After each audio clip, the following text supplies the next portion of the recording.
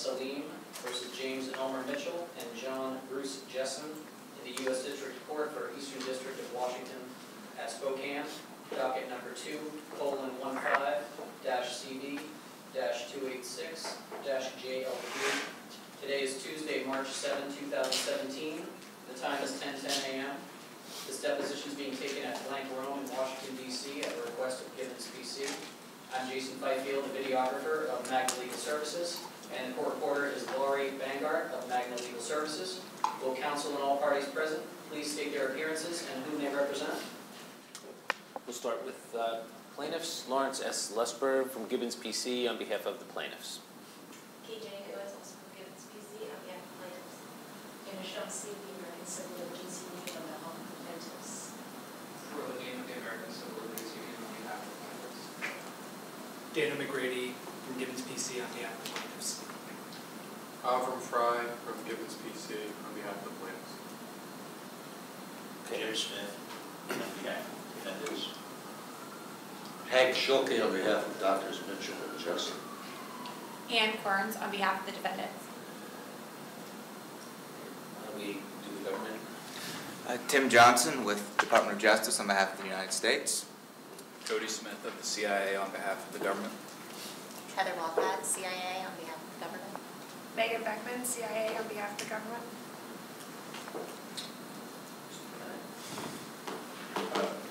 Bob Bennett, uh, on behalf of the witness Jose Rodriguez. Brooks Hanner on behalf of Mr. Rodriguez.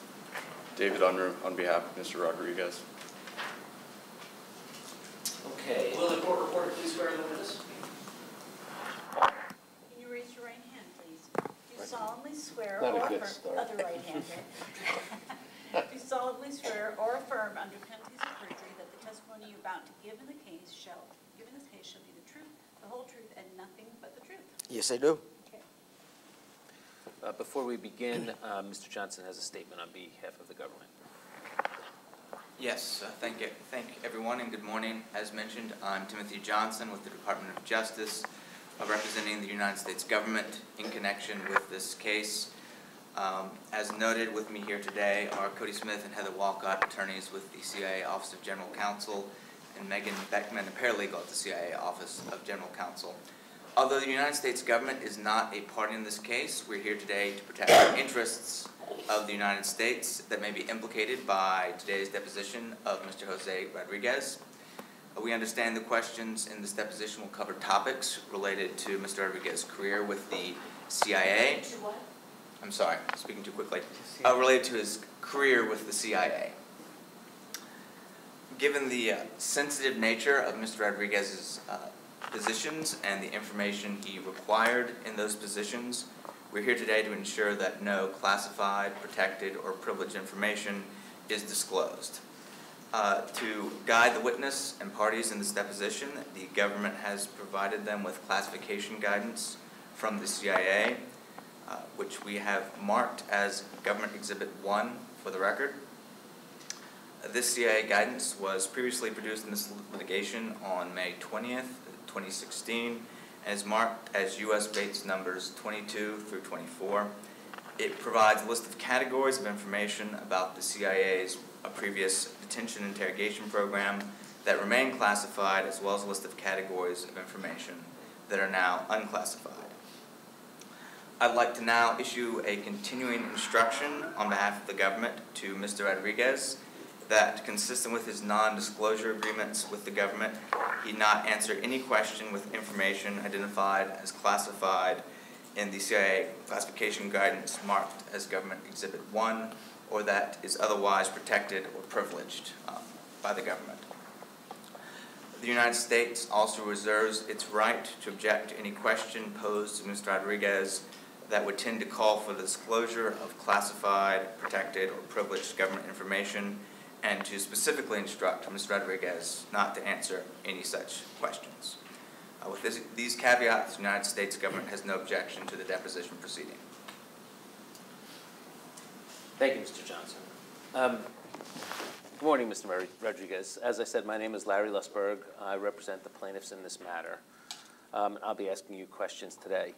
Um, Sir, have you ever uh, been in a civil deposition before? Never have. Okay, so I'm going to just give you some basic instructions with regard to this. If you have any questions about them or anything else, please stop me. Okay. Um, You have been sworn to tell the truth, um, and that oath is just the same as if you were in a court of law. Do you understand that? I understand that. Um, So you've noticed that there's a court reporter here. Mm-hmm. Um, It's important um, so that she can get all the words down, that you let me finish my questions before you answer, um, even if you absolutely know how I'm going to finish the question. Okay. And I'll let you finish your answer before I ask the next question, okay? Very good. Um, If you don't understand anything about a question I ask, uh, please feel free to ask me and I'll clarify it. Um, If you answer it, we'll all assume that you uh, understood the question, okay? Okay. Um, So that was an example of your answering before I was finished with my question. Okay. Um, And um, if you need any breaks at any time, feel free to take them. Um, You can consult with your counsel, Mr. Bennett, with regard to that. Um, And um, is it clear there? Okay. Okay. Um, Any questions then before we start? No. Okay, thank you. Um, So, um, Mr. Rodriguez, you recall that you um, were originally supposed to be deposed back in January? Yes. Okay. Um, And that deposition was canceled because you were, you signed a declaration. Do you remember that? Yes. Okay. Can we have that declaration? We're going to mark this declaration as Exhibit 36, um, continuing in uh, the order that we've done. Thank you. If you could, um, I'm sorry. Mhm. Let me mark it real quick. Yep. Let me, I have to put it, a little sticker on the, yeah, it's-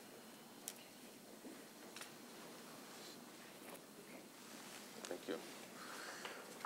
Uh, Mr. Rodriguez, if you could take a quick look at that um, declaration and, uh, in particular, uh, look at page 20, I believe it is.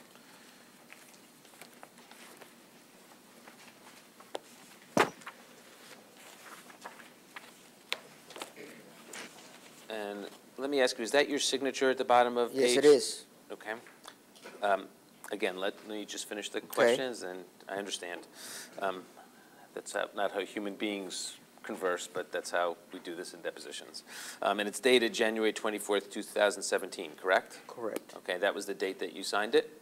Yes. And before you signed it, did you read every paragraph? Yes. And it's entirely true? True. Okay. Um, Who drafted this declaration? My lawyer. Okay. Um, And what was the arrangement pursuant to which you signed it? That is, what did, what did, why did you sign it? I signed it because uh, it was the truth, uh, as I know it, uh, over the years. Um, And does it include all the information of which you're aware that pertains to these subjects? Yes. Um, The, um, was your understanding when you signed it that as a result of your signing it, you would not have to be deposed at that time? I thought that was the case. Okay. Did you get anything else in return um, as a result of signing the, the, the uh, declaration? What do you mean? Uh, Was there any kind of deal that you, you would sign the declaration and get something in return? No. Okay. okay, some very quick um, background on, uh, on you. Um, You used to work at the CIA, correct? Correct. Um, And um, if you could, just very briefly, we're not going to spend a lot of time on this, um, provide your, uh, when did you start at the CIA? I started at the CIA in November of 1976. Okay. And um, what was your first position there? I, uh, first, the first two years was training, and then after that, I was ready to go overseas, and I went overseas uh, uh, six or seven times. Um, And um, before you worked at the CIA, you went to law school, correct? Correct. Um, Did you ever practice law? No, Okay. Um, Do you still have your law license? no, Um, s- Did you have your license, your law license in 2002? no. When did you give up your law license? I never had, uh, got a law license. I just graduated from law school. I went to law school to get a job at the CIA, actually. Okay. Um, So did you study, let's say, criminal law in particular? Yes, Um, And what, just general courses in law school regarding criminal law? correct. Okay. Um, At any point, did you study the definition of torture in, um, in Title 18 of the United States Code? At some point, perhaps, back then, Back when? back when I was in law school, but uh, more recently, uh, when I was involved in running the uh, counterterrorism center. Okay. Let's talk about that. Um, When did you begin, begin at the Counterterrorism Center? I began in September of 2001, So right after 9/11? about 10 days after 9/11 or so. What was your um, first uh, position at the Counterterrorism Center? I was the chief operating officer for the counterterrorism center. Um, So if your Wikipedia page says that you were chief of staff, is that incorrect? That is incorrect. Okay. Um, Your title was chief operating officer? Yes. Um, And It's a title I gave myself because there was no position for me there. Okay, how did, how did that happen that you gave yourself that title?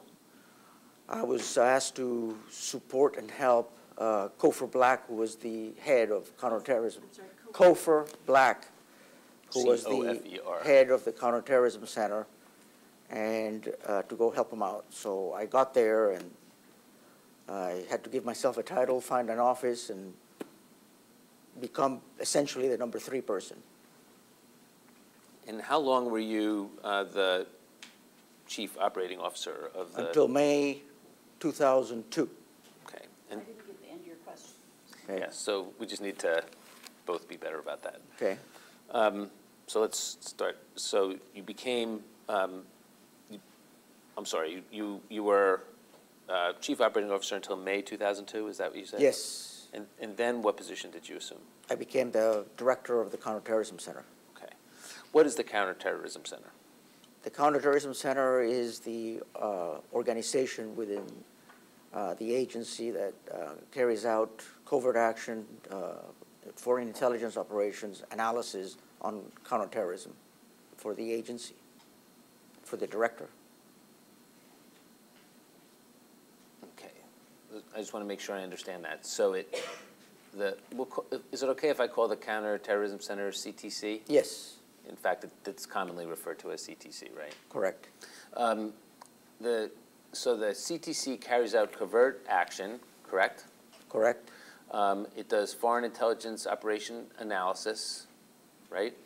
Foreign intelligence operations Okay. And you said for the director, is that right? and analysis, separate, for the director of the CIA. Um, So you reported directly to the director of the CIA? I had a reporting channel to the director of the CIA, yes, in Mhm. addition to other people. Mhm. Um, Did the, did the functions of the CTC change after 9/11? Yes. In what way generally? Overnight, uh, we were overwhelmed with uh, requirements to go out and get Al-Qaeda and protect the country and save American lives. Um, At that time, and when- we say at that time, let's focus on the time period in 2002. Um, Did you know anything about the Air Force's survival, evasion, resistance, and escape, which we refer to as SERE program? Uh, Not early on, later. Okay, when did you learn about the SERE program? When we started to uh, figure out what to do uh, to get Abu Zubaydah to tell us uh, what were the impending attacks on the country. So before um, you um, tried to figure out what to do to get Abu Zubaydah to tell us what were the pending attacks on the country, you did not know anything about the SERE program? I didn't know, it- I did not know anything. Had you heard of it? Uh, No,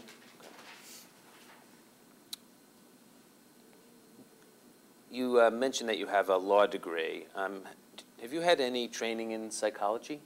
Uh, no, Um, have you studied or know anything about post-traumatic stress disorder? No, Have you heard of that? yes, Okay. What have you heard about it? what I hear on TV, Okay, just from TV? yes, TV, Have you heard about post-traumatic stress disorder anywhere other than on TV? no, Have you studied at any point the long-term effects of torture? no, Um, Have you spoken to people about the long-term effects of torture? no, Okay, um, I want to um, direct your attention to the time period in which um, Doctors Mitchell and Jessen were hired. Um, And uh, for the record, Doctors Mitchell and Jessen are here today. Um, At the time that Dr. Mitchell was hired, um, what was he doing? Do you recall? He was hired by the CIA in December of 2001 uh, by the Office of Technical Services to provide uh, psychological support, uh, applied psychology and research.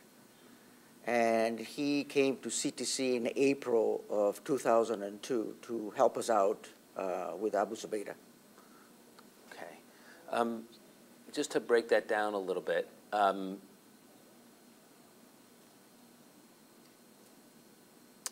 what was, the Office of Technical Services, what is that? It's an office within the Directorate of Science and Technology that uh, does this type of th- stuff, What, what type of stuff? like hire the psychologist. Okay. Um, So when Dr. Mitchell was working at the Office of Technical Services, you said he provided psychological support. What does that mean? He provided uh, research and applied psychological support uh, to the agency. Um, So he did research? I assume so. You don't know? No, Um, Do you know anything about the applied psychological research that he did? no, Okay. Do you know, beyond what you said, anything more about what his activities were at OTS? no, And when I say OTS, just so that the record is clear, I'm referring to the Office of Technical Services. Um, Do you know anything about um, any psychological, applied psychological papers that he did, or? No. uh, Okay.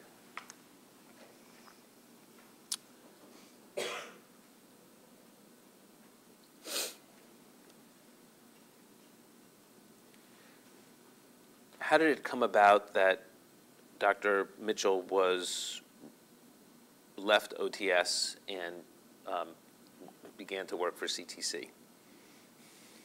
He was recommended to us by someone in CTC that he should be someone uh, to accompany a team that was going uh, overseas to uh, debrief Abu Zubaydah.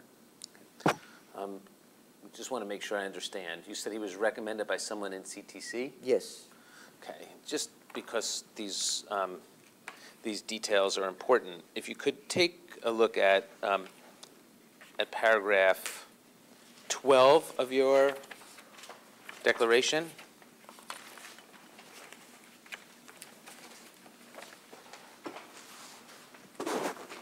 That's on page two? page 12 or Page two, paragraph 12, page two. Sorry. See that at the bottom of the page? Yes, Um, Paragraph 12 says, OTS then recommended Dr. Mitchell to CTC Legal, and CTC hired him. okay. Um, Was it OTS that recommended Dr. Mitchell to CTC Legal? O- OTS recommended it to CTC Legal, and, and and CTC Legal recommended that he be a person that he should be uh, hired by us. Okay. So C- CTC Legal recommended to you to hire Dr. Mitchell? Yes, You were responsible for that hiring decision? no, Who was responsible for that hiring decision? whoever hires people at CIA. Sorry. I'll Objection. withdraw, I'll withdraw the question. Um, Okay. Um,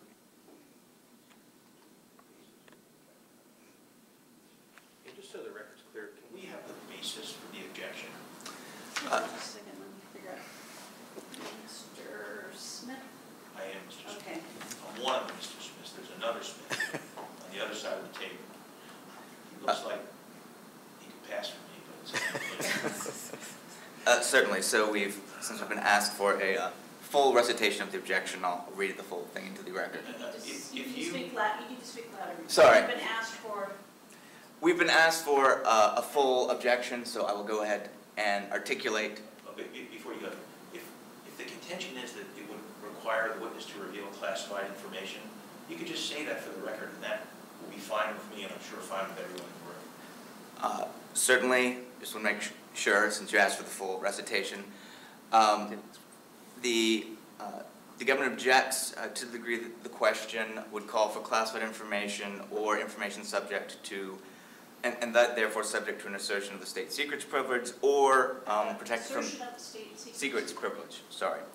Or protected from disclosure by the CIA Act, uh, 50 USC Section 3507, or the National Security Act, 50 USC Section 3024.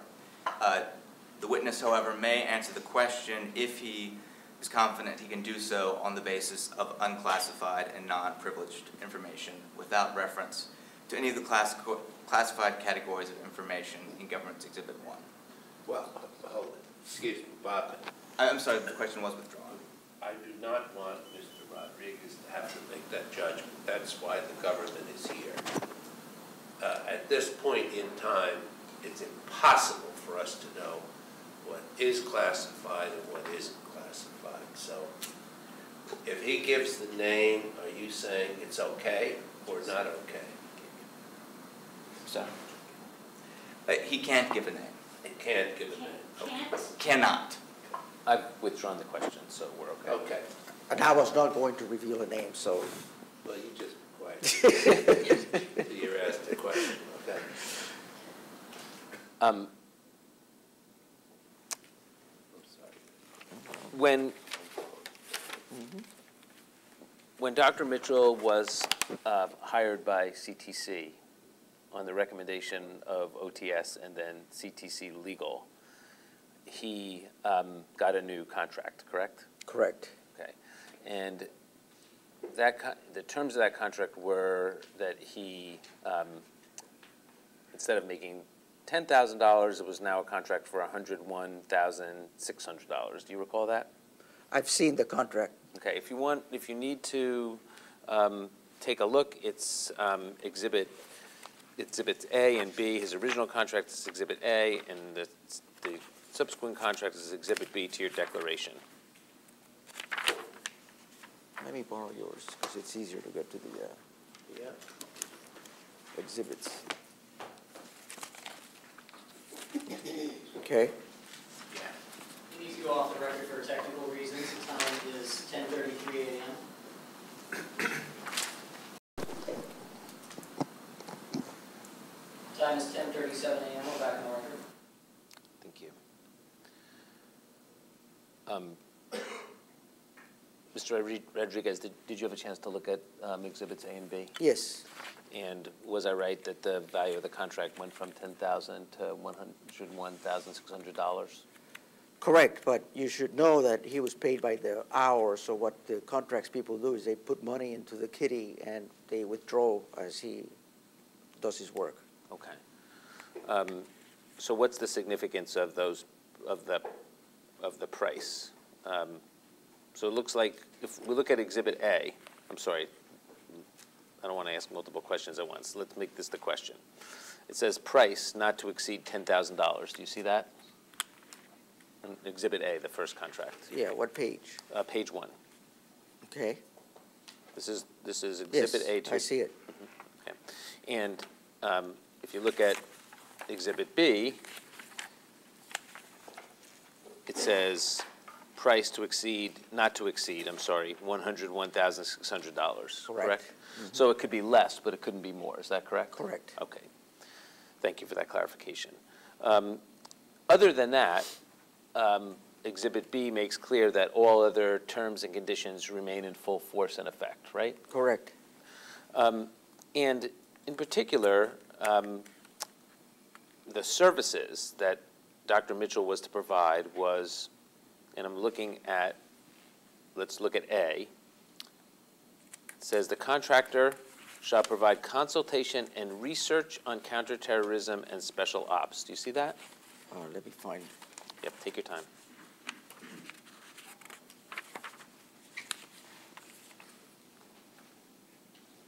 which one is that? That's B.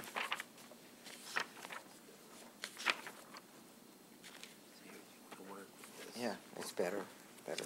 Because we have the exhibits. Yeah.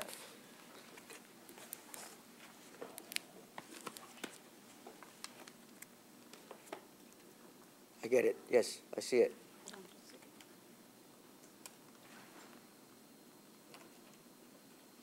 second. Okay. So, just to be clear, um, for, in, in Dr. Mitchell's first contract, it described the services as the contractor shall provide consultation and research on counterterrorism and special ops. Special taskings are identified in the previously provided statement of work. Do you see that? Yes, I see it. Um, And the, if you look, uh, bless you, um, to the statement of work, which is several pages later in your exhibit,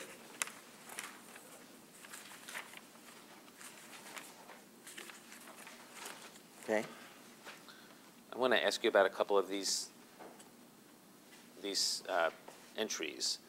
Um, It says project objectives, and it says provide consultation to the Professional Standards Advisory Committee. Do you know what that is? no, Um, And it says regarding applied research in high-risk operational settings. Do you know what research in high-risk operational settings Dr. Mitchell was doing? no. Um,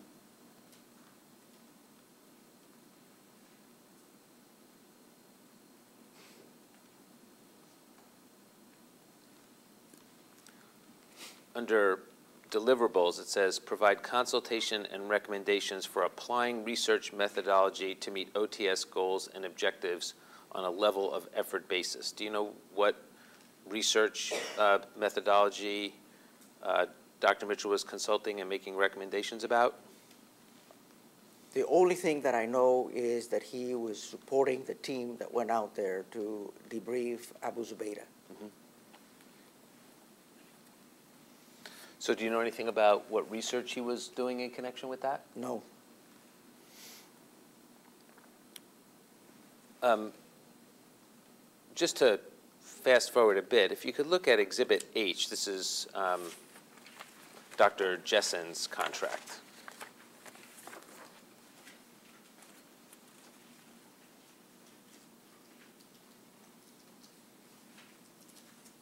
And again, just for the record, this is Exhibit H to Exhibit 36, right?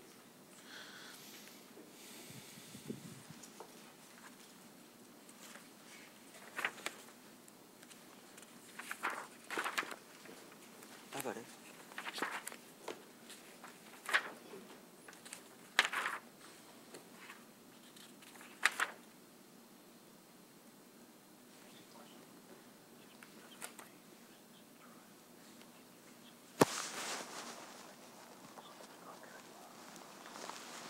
No worries. Or, do you want to do that, or you want me to? Okay, okay.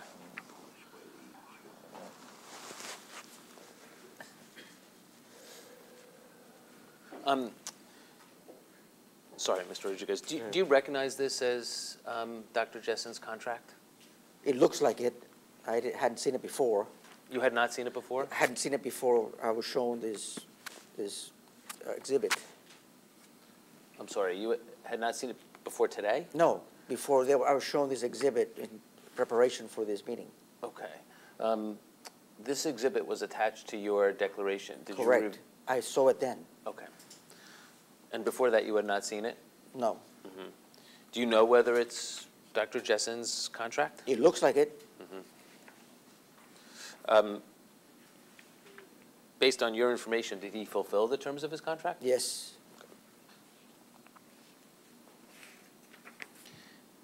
And um, if you turn to the top of the second page of it, it says services. Do you see that? Yes. And the services are task one, provide consultation and recommendations for applying research methodology. Do you see that? Yes. Then it says C-O-N-U-S. What does C-O-N-U-S stand for? CONUS is the US. Okay. And then it says, uh, conduct specified applied research projects. Do you see that? Yes. Um, And your testimony is that uh, Dr. Jessen fulfilled the terms of the contract by providing those services. Is that right? Correct. Um, So back to Dr. Mitchell for a second. Um, Did you select Dr. Mitchell to work with CTC? Once he was recommended, and I met uh, Dr. Mitchell, yes, I recommended him to continue working with us. Um, I want to read you um, a passage from your book. And when I say your book, I'm referring to the book Hard Measures. Do you see that Mhm. there? That looks like you. That looks like me. Yeah. Um, And, um, and, and I'll stipulate that, thanks, Sam. You're so reasonable, Mr. Begg. Um, I'm going to just, uh, we're going to just mark as exhibit, um, which one, 37? Some, some, yeah. Well, we'll, we'll mark passages for now. Give me to. Yep, take your time.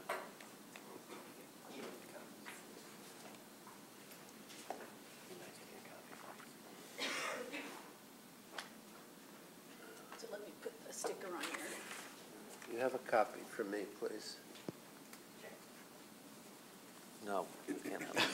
Okay, I'm easy.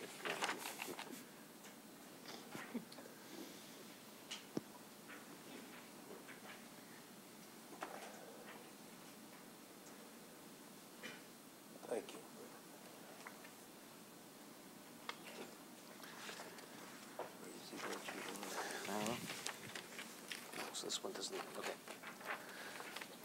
So, um, if you could take a look at page 55, which is the, the first page. See that? Yes. Um, And in the second full paragraph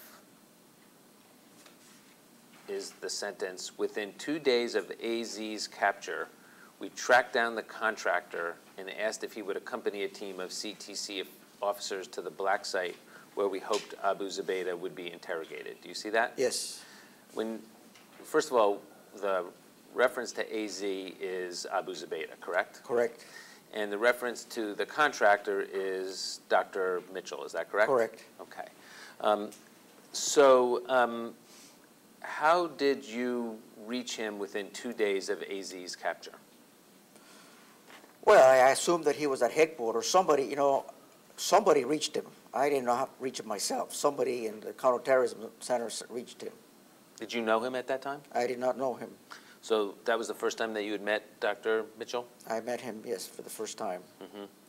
Um, Ultimately, though, you were the one who made the decision to hire him at CTC? Yes, Um, Why did you think he was qualified? Because of his experience with SERE and because we needed to do something different than what had been done before, and he looked like the right person to do it. Why did he look like the right person to do it? Because he had a tremendous expertise and uh, he uh, had a good vision for what needed to be done. What did he have tremendous expertise in? In SERE, What was his uh, SERE experience, to your knowledge, at that time? he had to spend many years uh, with the Air Force uh, working on SERE. Did he have, was there any other source of his tremendous expertise? Uh, The expertise I was interested in was SERE. And you said he had a good vision for what needed to be done. What was that good vision? The good vision was the use of enhanced interrogations uh, to get Abu Zubaydah to cooperate with us. Was that his idea? He was a recommendation. And I don't remember exactly who the recommendation came from, but I assume he was part of that recommendation. I'm sorry. Um, He was, you're saying that he was recommended to you? that was a recommendation from him regarding the use of the enhanced interrogation techniques. I see. Okay, and that's, so his, the recommendation from him to use enhanced interrogation techniques was what you mean when you said he had a good vision? Yes. Okay. Um, He had a good vision for how to uh, get this person to tell us about impending attacks on the U.S. Other than Dr. Mitchell's experience at SERE, did he have any other qualifications that you were aware of at that time? Well, he came with a PhD, uh, highly regarded, uh, and then the SERE uh, experience is the one that I was interested in. Mhm. How did you know he was highly regarded? I was told.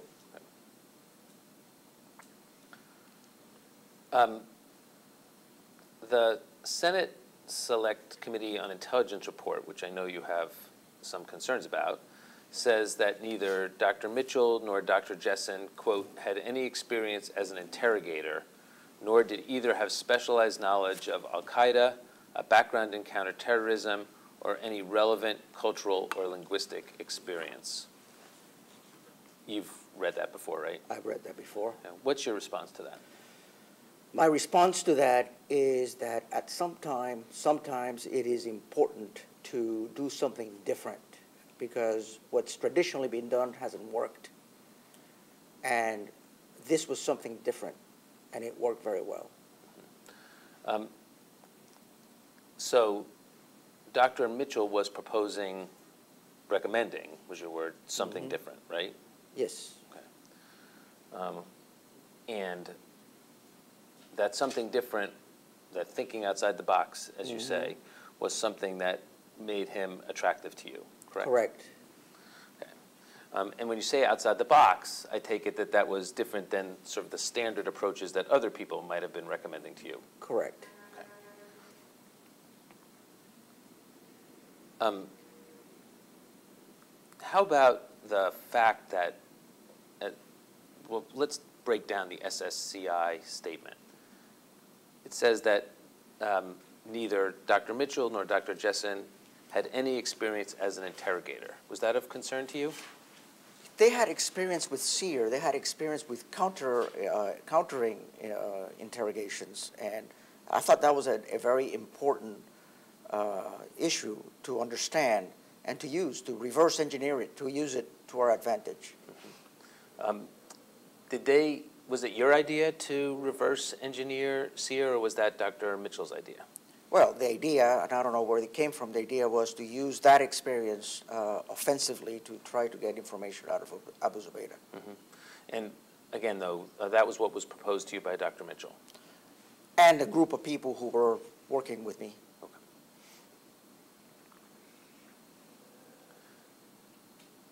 Um, Did it concern you that uh, neither Dr. Mitchell nor Dr. Jessen had any relevant cultural or linguistic experience, as the SSCI report says? Well, uh, I don't know about that. Uh, I think they had a lot more experience uh, in all of this than the record shows. And if you have read his recent book, you see the expertise that he had uh, dealing with all of these people from that part of the world. So your view is that when the SSCI report says that, that he did not have, that neither he nor Jessen had any relevant cultural or linguistic experience, that's incorrect? Cor- Incorrect. Um, Did the, you mentioned that there were a number of people um, that you were discussing um, this, Dr. Mitchell's proposal with? Correct. Um, Did any of those other people um, who were working with you have experience with SERE? No. Um,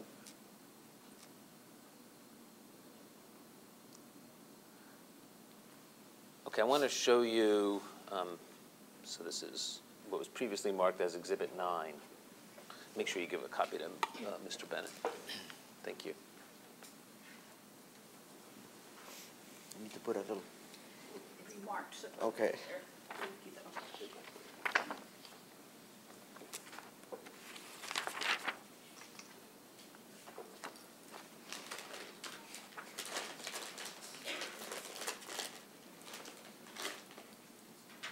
Sorry, it takes a little time to get all these exhibits around with this gigantic table.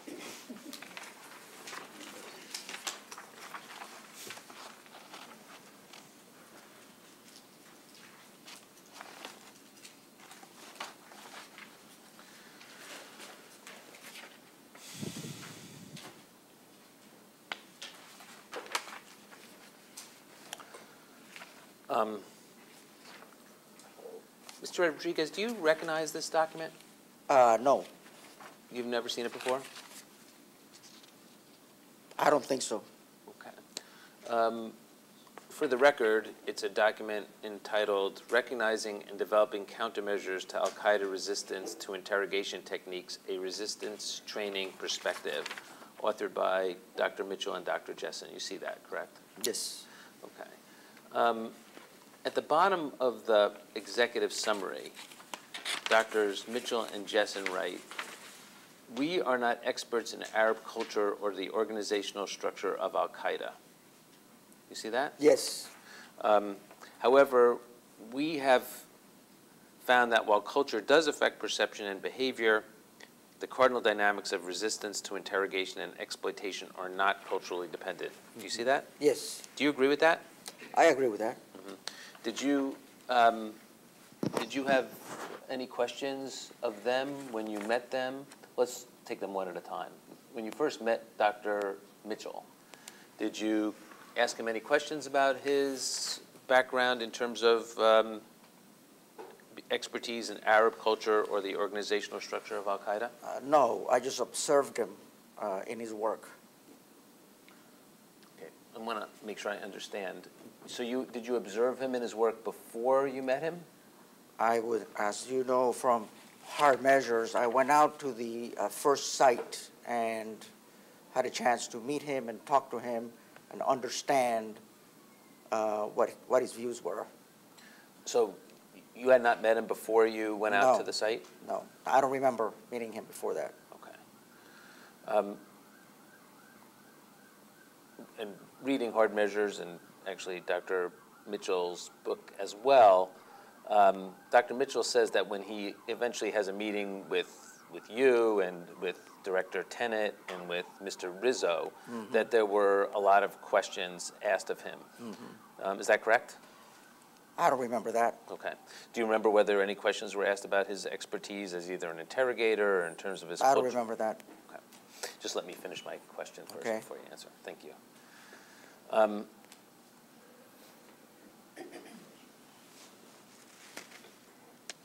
um, I can play this for, play this for you if you wish, but um, in one of the interviews that you did on CBS this morning, you said the following. These people, referring to Doctors Mitchell and Jessen, were experts on the SERE program, which is a military training program that trains our people how to withstand interrogation tactics. They had knowledge and background on Islamic extremism. What knowledge and background on Islamic extremism do you believe that Doctors Mitchell and Jessen had? Well, first of all, uh, their knowledge of psychology, uh, human behavior, uh, was one that, as he points in his paper here, translates into all cultures. Uh, I saw him, how he dealt with uh, the Arab culture, and I thought, you know, this is a person who understands it and can deal with it. Okay, so um, your belief that they had knowledge and background on Islamic extremism came about as a result of your observations of them during the course of interrogations, is that correct? Correct. Okay. Do you have any other knowledge with regard to their knowledge and background on Islamic extremism? No. Um, Does it, how do you feel about the fact that uh, Dr. Mitchell and Dr. Jessen in their, um, what I just read to you, say that they didn't have knowledge about um, and background on Islamic extremism? I have no feeling about it. Okay. Um, I want to ask you for your response to a couple other statements that have been made about Dr. Mitchell and Dr. Jessen's background. Um, In her book, The Dark Side, Jane Mayer says that according to one colleague who was an interrogator, Mitchell had not even observed an interrogation, referring to prior to, um, to this, uh, this assignment. Um, Do you know whether that's true or not? I do not. Okay. Um, And Ali Soufan from the FBI says the same thing. Um, To your knowledge, is it true that Dr. Mitchell had never even observed an interrogation prior to his assignment? I do not know. Okay. I want to ask you to turn to uh, paragraph 42 of your declaration.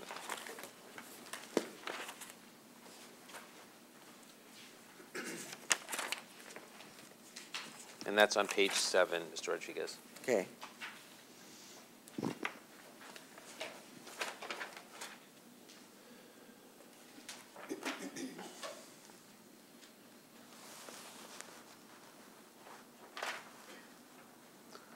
Um,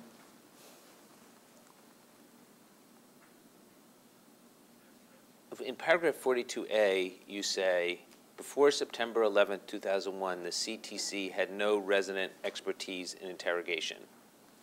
Is that correct? True, Oh, And when I say is that correct, it's not just that you said it, that was a true fact. true. Okay. Um, And it says in B, to be used effectively, interrogation skills must be developed over years, and that um, interrogation was not a part of the CTC's core counterterrorism mission. Is that true?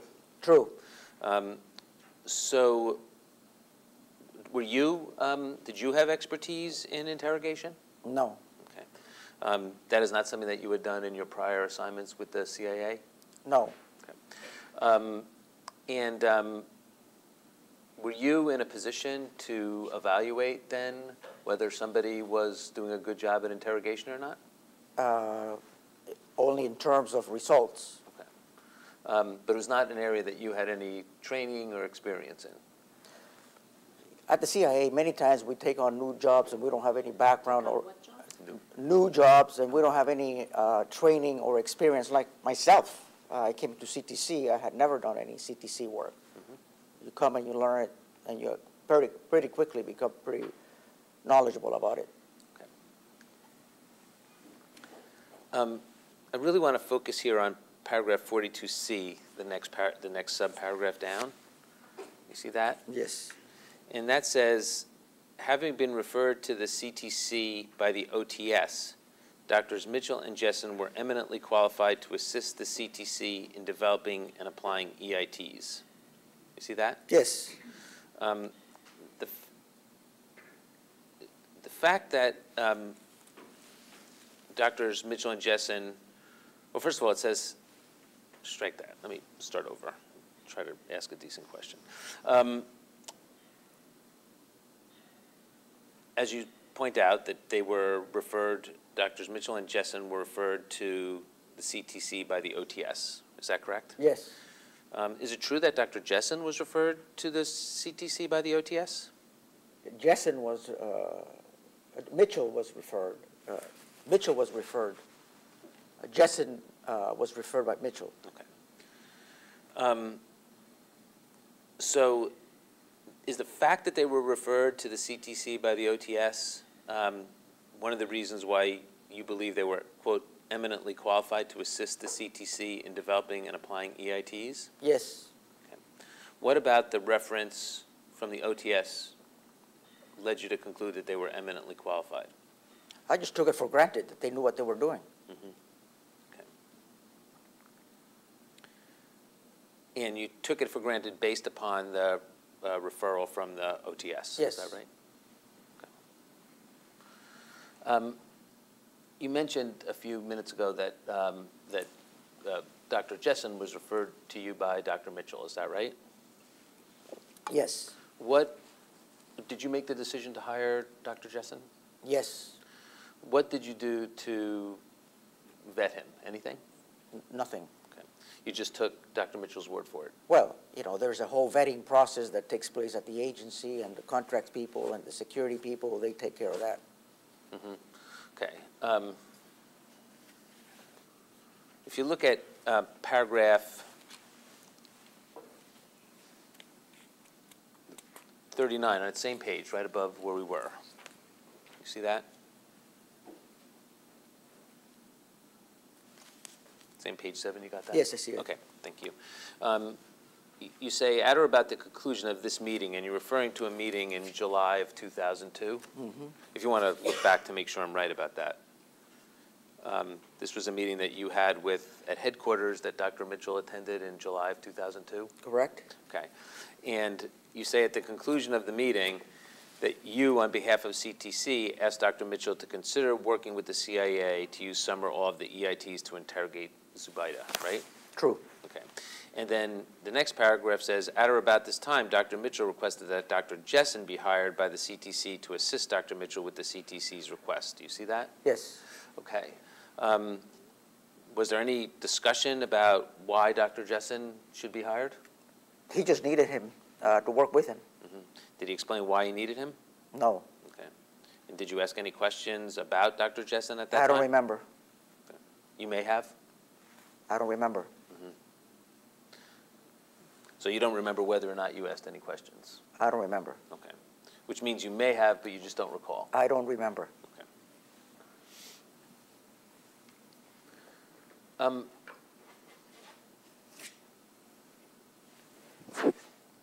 Would you agree that as Dr. Mitchell's book describes him, he was, quote, "the architect of the CIA interrogation program"?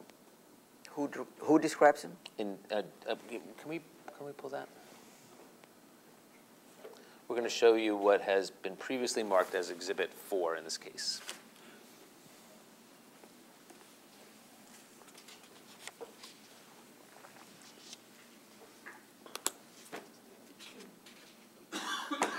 Okay. Let's just let everybody else get their copies. Sorry. As I said, it takes a little longer because this big table.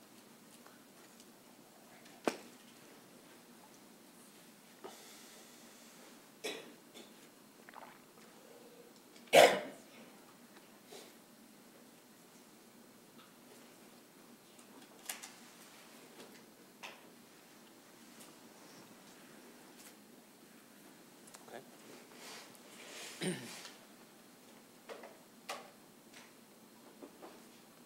I could I ask that question you read back?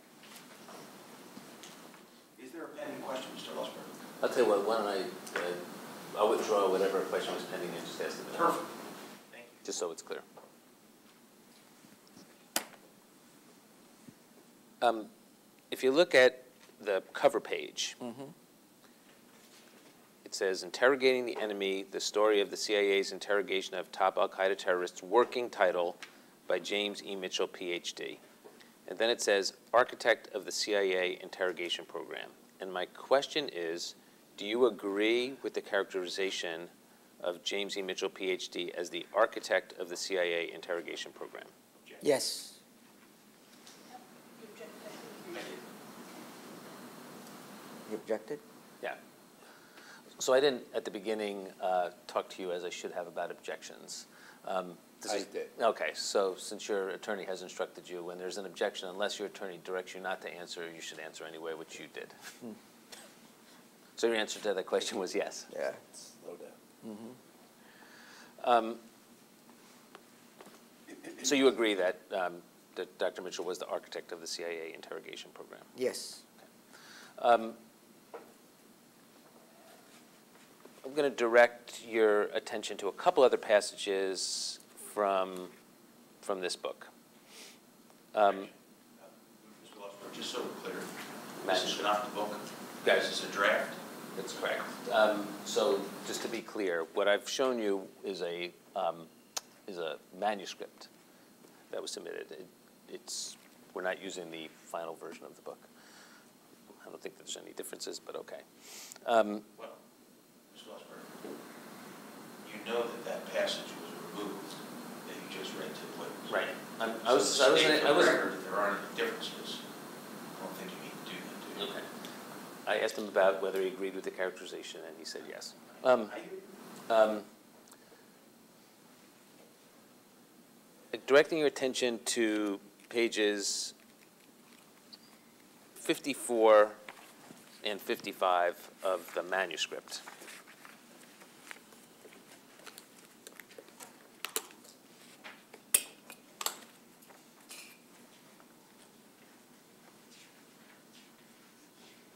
Five fifty-six, you said? 54 and 55.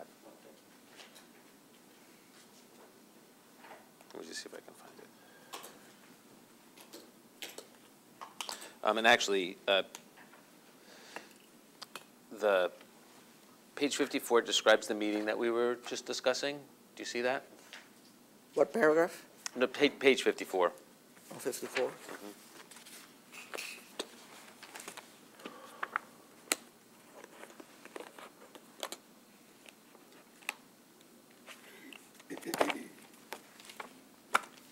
Okay, But looking at the first, first full paragraph on page 55, Dr. Mitchell writes, "A day or so later, Rodriguez asked me if I would help put together an interrogation program using EITs." Do you see that? yes, Um, Is that true? true, It's true that you did ask him to do that? yes, To put together an interrogation program? correct. Okay. And in particular, if you go a little further down that paragraph, it says, Jose not only wanted me to help them craft the program, he wanted me to conduct the interrogations using EITs myself. Um, Was it correct that you wanted him uh, to craft the program? Correct. Okay.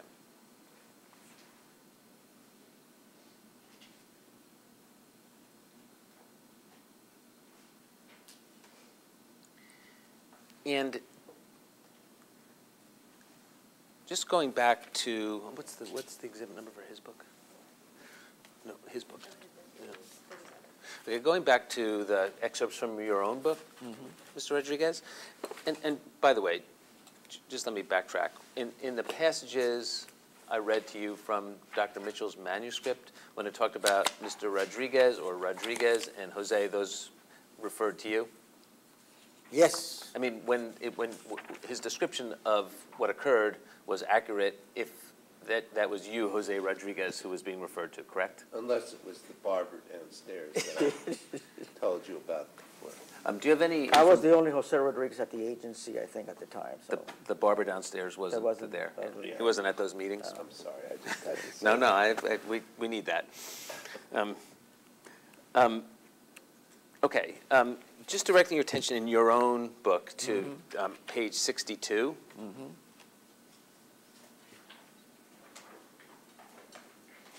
For the record, Mr. Lustberg, witness has exhibit thirty-seven before. Uh, yes, yes, sir, thanks, Jim.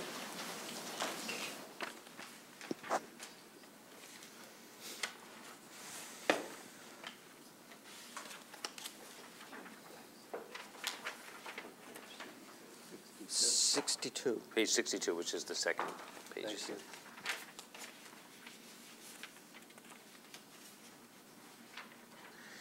In the first full paragraph on page sixty-two, the, um, you write,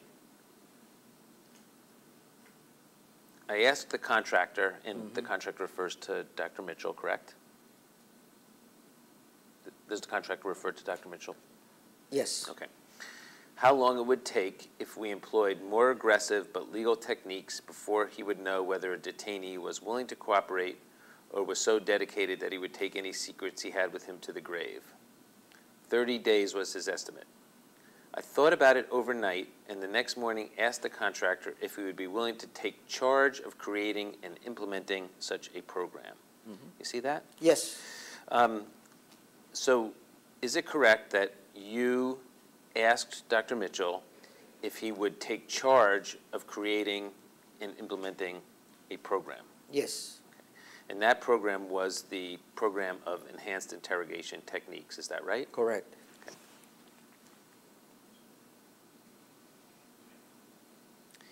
And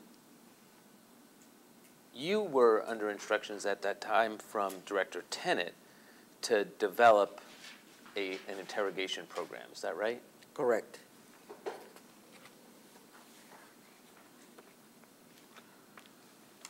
Okay.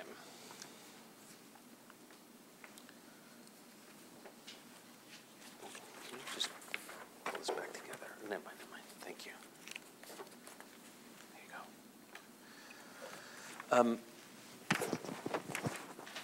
So, I- I just want to make sure I understand what happened then, and I would direct your attention for purposes of that to paragraph 46 of your declaration, which is Exhibit 36.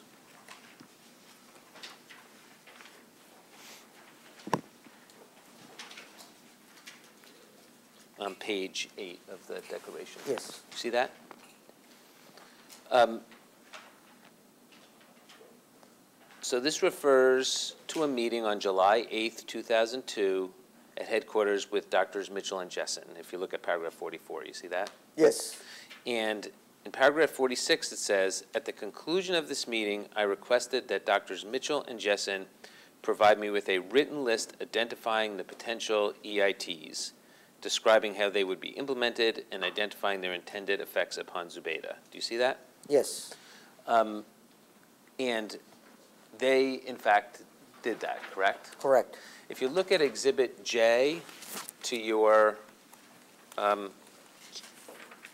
to your uh, declaration, is that the list of EITs that, um, that they provided as a result of your request? Yes.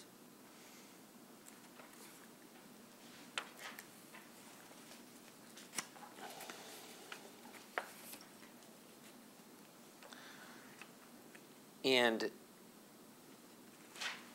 that, uh, let me, with, just withdrawn. If you go to the next page, paragraph 49 of your declaration,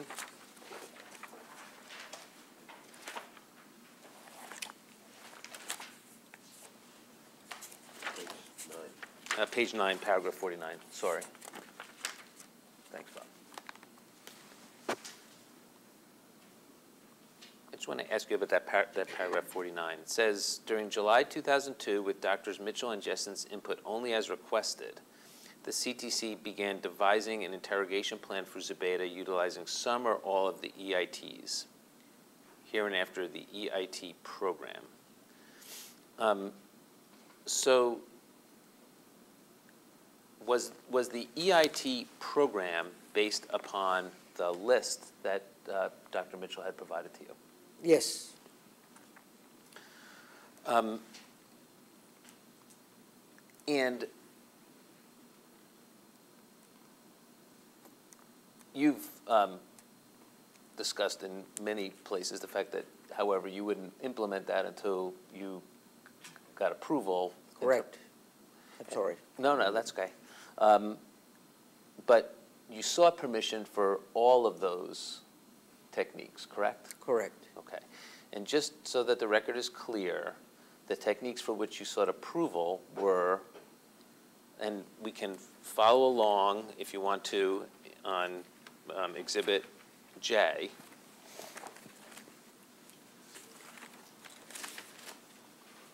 Were the attention grasp, walling, facial hold, facial slap, cramped confinement, wall standing, stress positions, sleep deprivation, waterboard, use of diapers, insects, and mock burial. Now, I'm not asking what got approved, I'm asking whether those were the techniques for which you requested approval. Yes. Um, And, and again, those are the techniques that are set forth in the list that was provided by Dr. Mitchell and Dr. Jessen, correct? Yes. Um, Did you request approval for techniques other than those that were set forth on the list provided by Dr. Mitchell and Jessen? I don't recall that. Okay. And um, this became, this became the formal interrogation, ultimately, when, when there was approval granted for at least some of them, this became the formal interrogation plan of CTC, is that correct? Yes.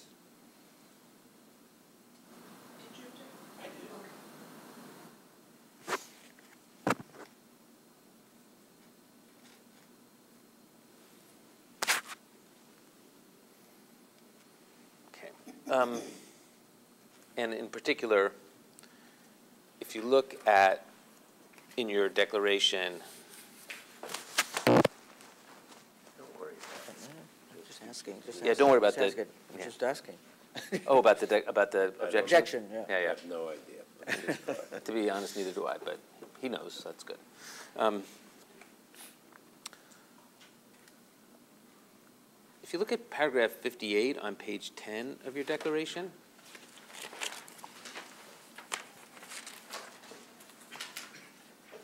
Where's M? Oh. Okay, That's bad. Okay. Sorry. Mm-hmm. Is there any way of finding him? Oh, oh, I can do it. Um,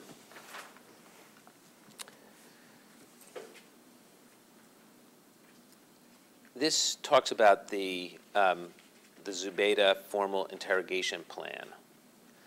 And there's a cable, which is Exhibit M, if you could pull out Exhibit M. M as in Mary. Wait, I got it. I got it. I got it, I got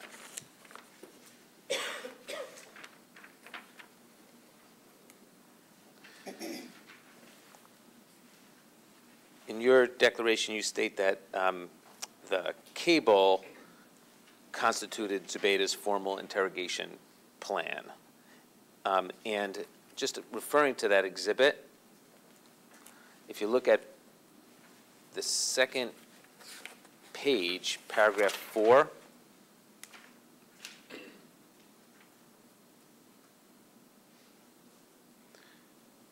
you see where it says background? Yes, Do you see the list of enhanced interrogation techniques that are listed there? correct. It's a fact, isn't it, that those are the same enhanced interrogation te- techniques, let me try that again. They're the same enhanced interrogation techniques as are set forth in Dr. Mitchell and Dr. Jessen's memo to you, other than the mock burial, right? I believe that's right. Okay, if, if- it's important, it's important facts, if you could take a look and, and see if that's. I mean, mock burial was definitely out, Mhm. and I think that's the only one. Okay. Um,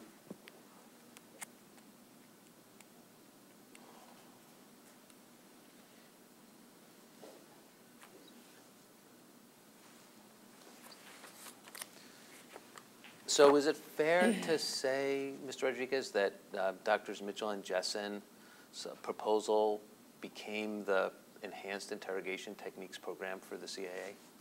Yes. Um,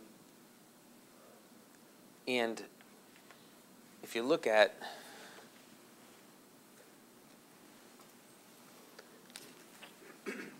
Exhibit I to your declaration,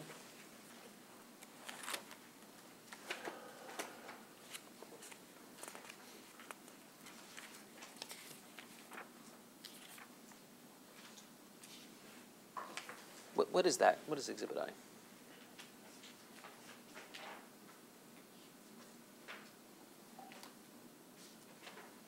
You asking me? Yes. The If you need- cable, the cable, you mean? Mhm. I'll have to read it. Yeah, take your time.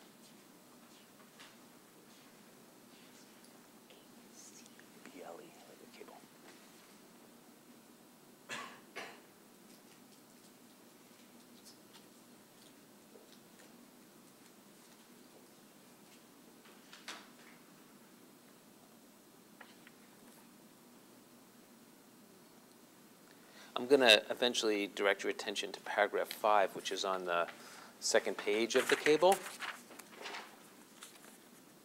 which has a list of pressure techniques.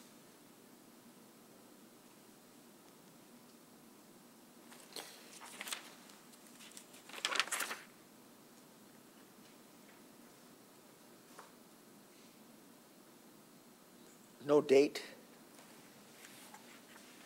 Well, it says date Seven something. with no date, 2002, so July 2002? I don't know if it's July. I mean, the Okay. date matters, but Okay. Well, let me ask you this, where it says here. Let me finish up, I'm sorry, I apologize. Take yours, take as much time as you mm-hmm. need.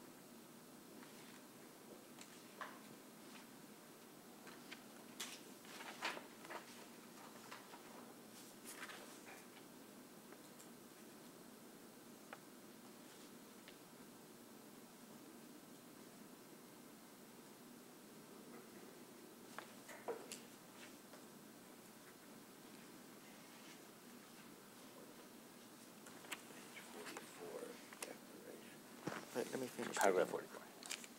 Hmm, paragraph. Paragraph forty-four. It's not that long, the declaration.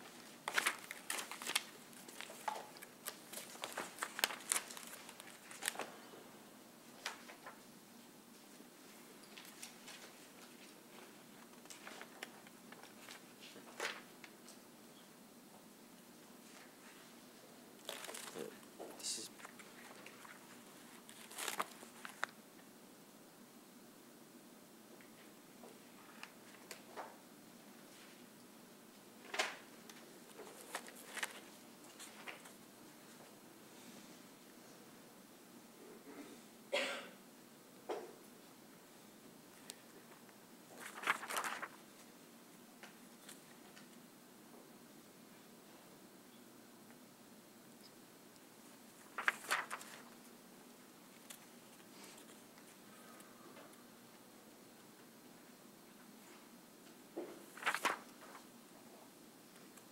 Mr.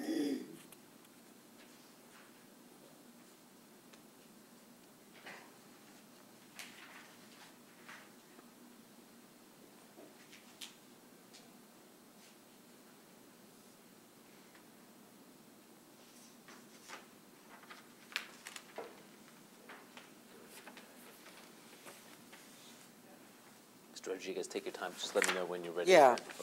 So what's your question? Okay, my question is, under five, it Mhm. says, "The below techniques are the menu of the pre-approved interrogation techniques."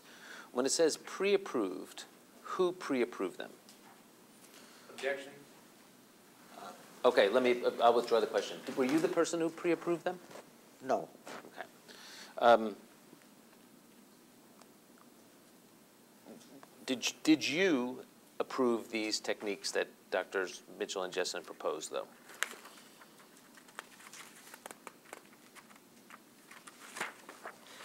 I mean, if the cable went out under my name, I did. But I don't remember it. Okay. So you don't recall whether you approved them? If the cable went out under my name, it meant I approved them. Mhm. So I take responsibility for it, but I don't recall this specific cable here. Um, Just to go back to what I was asking you about before, if you look through five, it's the same exact list, um, other than the mock burial that we were talking about before? Do you see that? Mhm. Um, And th- that was the list that was provided by Drs. Mitchell and Jessen? Correct? Um, Do you, did- did you, uh, did anybody other than, and you don't, don't say who, did any- anybody other than Drs. Mitchell and Jessen propose other techniques to you? I don't recall. There may have been others. I don't recall. Um, Did, did you propose any other list, other than this list, to Mr. Rizzo or to No. the department? Let me finish my question, okay? Okay, l- let's stop there, though. So you never proposed any other list other than this list to Mr. No. Rizzo? Did you propose any other list other than this list to the Department of Justice? No. Okay. Um,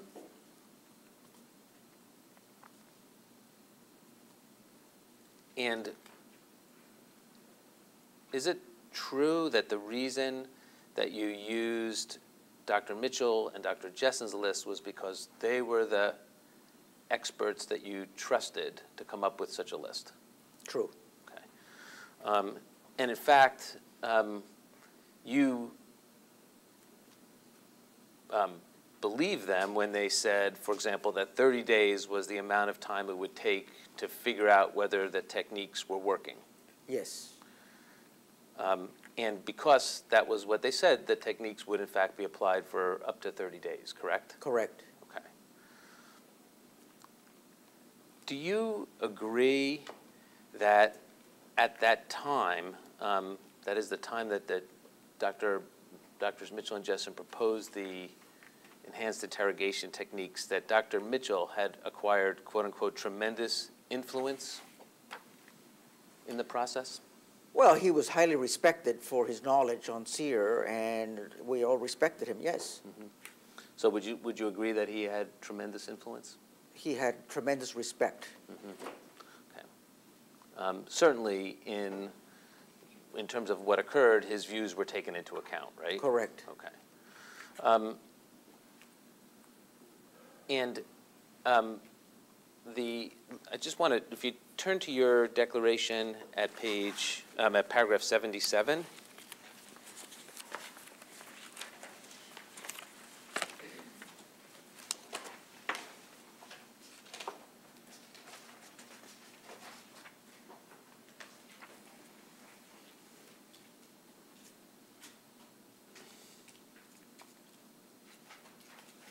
And that refers to an Exhibit P.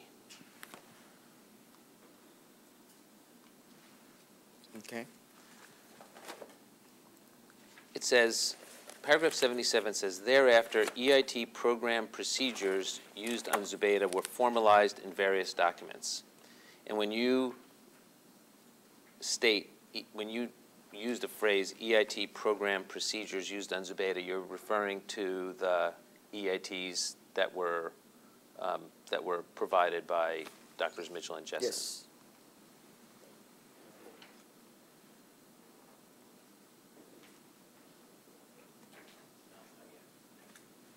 Um, I'm just going to, can we just take a brief break for one sec? Sure. Time is 11:39. Thank you. Because you're a young guy, you see. That, I'm, I'm 1:03 PM, we're back on the record. Thank you. Um, Mr. Rodriguez, before the lunch break, we were discussing the process whereby you um, sought and obtained uh, legal authorization for the, um, for the, for the enhanced interrogation technique program. Remember that? Yes. And um, when you sought that, uh, that uh, approval, it was based upon what you had learned from Drs. Mitchell and Jessen with regard to the SERE program, correct? Correct. Okay.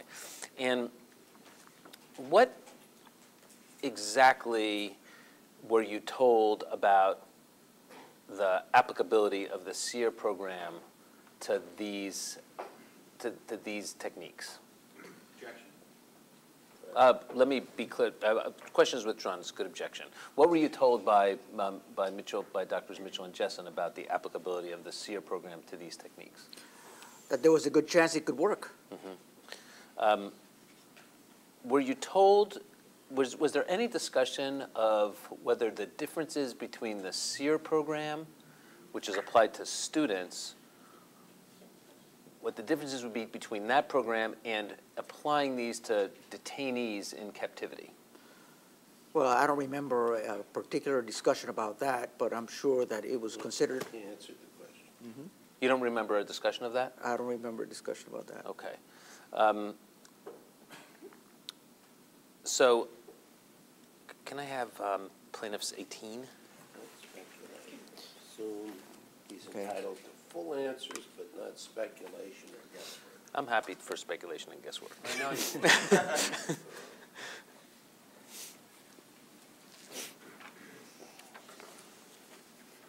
that another one you're marking? Is that- This is previously oh, Okay, marked. previously Okay.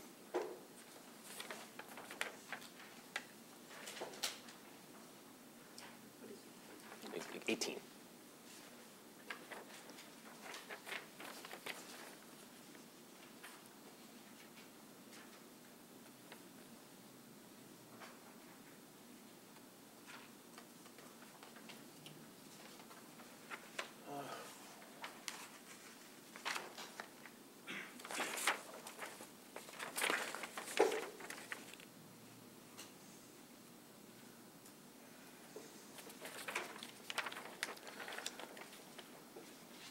Let me know when you've had a chance to Okay. take a look at that.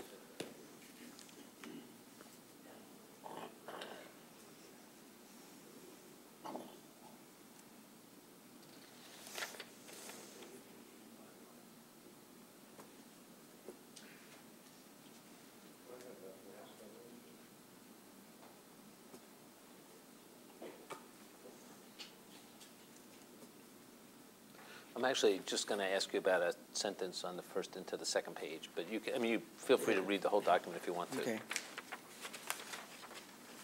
Just let me know when you're ready. okay.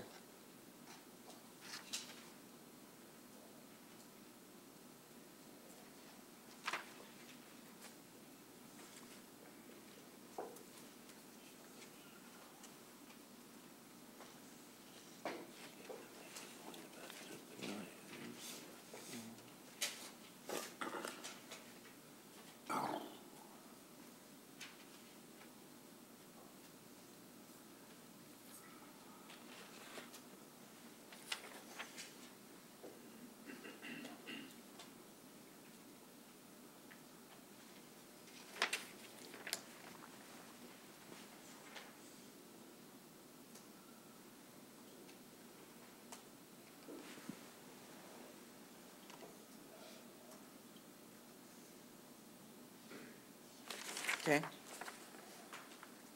Okay. Um, Just directing your attention to the bottom of the first page. Uh, Well, first of all, have you ever seen this document before?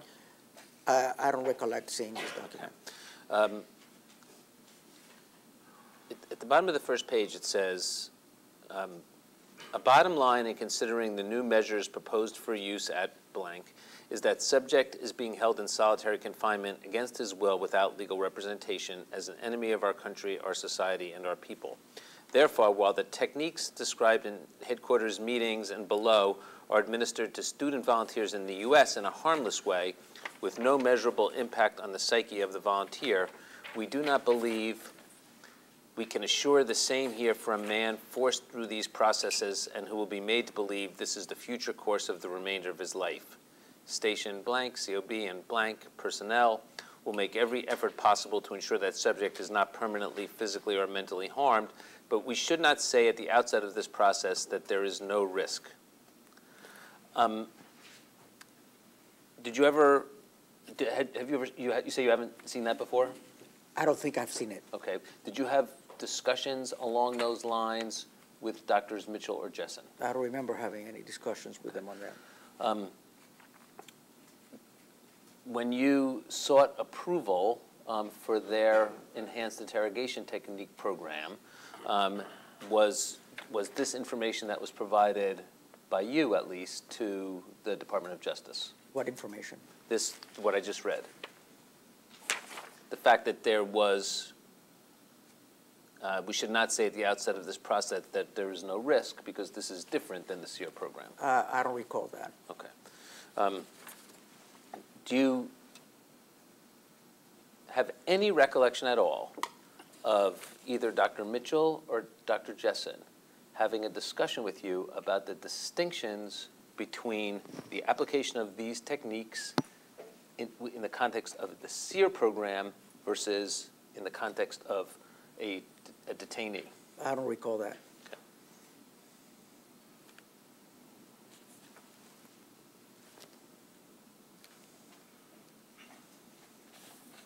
Okay. I'm going to read you, and I can show it to you if you wish, but I'm going to read you a quote from the CIA Office of Inspector General report. You've seen that report, right? Yes, CIA Office of Inspector General. You've seen that report? I saw that report many Okay. years ago. Okay. I, I just want to get your reaction to this sentence. Finally, the agency presented OLC, that's Office of Legal Counsel, with a psychological profile of Abu Zubaydah with the conclusions of officials and psychologists associated with the SERE program that the use of EITs would cause no long-term mental harm. OLC relied on these representations to support its conclusion that no physical harm or prolonged mental harm would result from the use on him of the EITs, including the waterboard. Do you agree with that? Yes, Lustberg, before you answer that question, sir, could you favor us with an exhibit number and page that you're reading from? Certainly. Um, So it was, um, it was, it was a previously Exhibit 10, and it's paragraph 43 from Exhibit, from what we previously had marked as Exhibit 10. Do I, do I agree I with the don't- fact that it would not? The question was, do- do I agree with the assertion that the enhanced interrogation techniques would not cause permanent harm, correct? Um, Do you agree that, that that was the information that was provided to OLC by the CIA? I don't know that. Mhm. So you don't, you don't know whether, um, whether that was the representation that was made to the, to OLC? I do not know that. Okay. Were you involved in putting together the submission to, to the Department of Justice? I Uh, was not. Okay. Okay, just, um, actually, me, sorry. Uh, Yeah, great, thank you. Okay, um, I read you a passage from that OLC report, and there's a footnote that I'm now going to read you and see if, what your reaction is to that, and again, I'm happy to show it to you if it's easier. Um,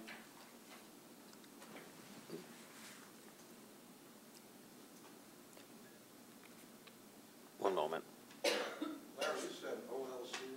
Oh, uh, no, it's not. You're right, you're right. It's the, it's the, it's the, you're correct. It's the, um, Office of OIG. Inspector, the OIG's report. Yeah, I apologize. Thank you. Ex- Correct. That is what it is, right? Exhibit 10. I I just want to make sure you're following. Um, As long as you tell me the It's- exhibit, it- it- I'll be able to follow. It is, it is Exhibit 10. Okay. Page, I'm now reading from footnote 26 on page 21 of Exhibit 10. According to the Chief Medical Services, OMS was neither consulted nor involved in the initial analysis of the risks and benefits of EIT, nor provided with the OTS report cited in the OLC opinion. In retrospect, based on the OLC extracts of the OTS report, OMS contends that the reported sophistication of the preliminary EIT review was exaggerated, at least as it related to the water board, and that the power of this EIT was ap- appreciably overstated in the report. Furthermore, OMS contends that the expertise of the SERE psychologist interrogators on the water board was probably misrepresented at that time, as the SERE water board experience is so different from the subsequent agency usage as to make it almost irrelevant. Consequently, according to OMS, there was no a priori reason to believe that applying the water board with the frequency and intensity with which it was used by the psychologist interrogators was either efficacious or medically safe. What's your reaction to that? Objection. Well, I object to the form of the question. I don't know what you mean by reaction. That, Fair enough. I'll, I'll, I'll restate it. Let me break it down. Do you believe, in retrospect, that the, um, that the, let's take it piece by piece. Um, That, withdrawn. Um, It says, OMS contends that the expertise of the SERE psychologist interrogators on the water board was probably misrepresented at the time, as the SERE water board experience is so different from the subsequent agency usage as to make it almost irrelevant. Was that a matter that was discussed with you? The OIG report? Nope. Um, The, the, the idea that the water board experience is so different from the subsequent agent, the SERE water board experience is so different from the subsequent agency usage. No, Was not discussed with you? no. Um, So, let me make sure I understand. Doctors Mitchell and Jessen advocated for a particular set of enhanced interrogation techniques based upon their SERE experience, correct? Correct. But there was never a discussion about whether that experience was actually relevant to the experience of detainees. Is that correct? Perhaps there was a discussion somewhere in the agency, I am sure there was, Fair enough, with you? Was not it- with me, Okay. or that I recall. Okay.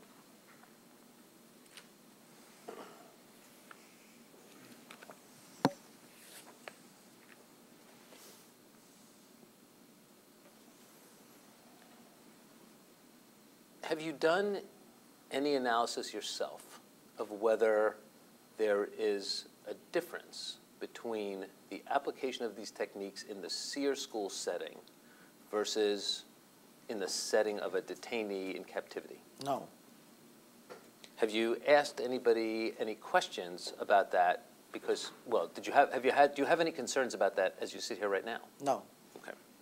Why is that? should, there's no reason for it. Mm-hmm.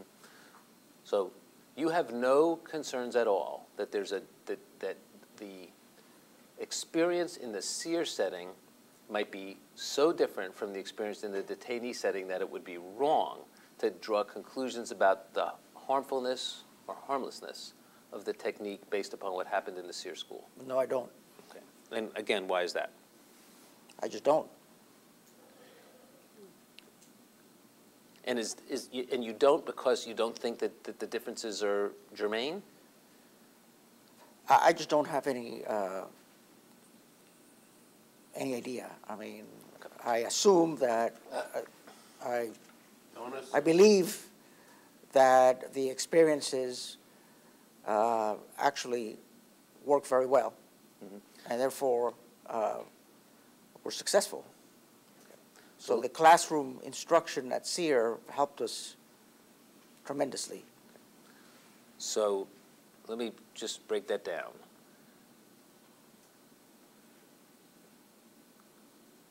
The, you think that the, the classroom setting at, in SERE is close enough to what happened to somebody in captivity that tho- those experiences are a good way of measuring whether there's harm? Yes, Okay. Um, And again, um, did you ever raise yourself, raise that question with anybody? no, Um, And when you say that, um, that all, that this was successful, what you mean is that, from your perspective, it got good results? it got good results. Um, And so the fact that it good, got good results leads you to believe that it was worth doing, even if there were differences between the SERE classroom and, and the, and the detainee in captivity? To be perfectly honest, I've never thought about it. Okay. Ha- uh, I think you said before you had no, you have no personal experience yourself with SERE, is that right? True, You've never been to a SERE classroom? no. Okay.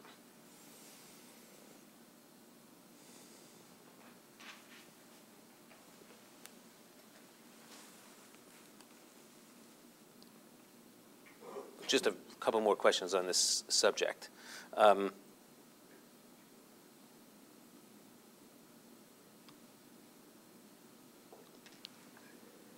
Many of the tell me if this is correct, many of the detainees that were captured, including Abu Zubaydah, were wounded or injured at the time, right? Not true. That is not true. That is not true. Okay. And most of the things we've discussing so far is Abu Zubaydah, Mhm. not others. Right. Um, I'm asking you the question of, so Abu Zubaydah was, a- was wounded at, at the time. He was, yes. Okay.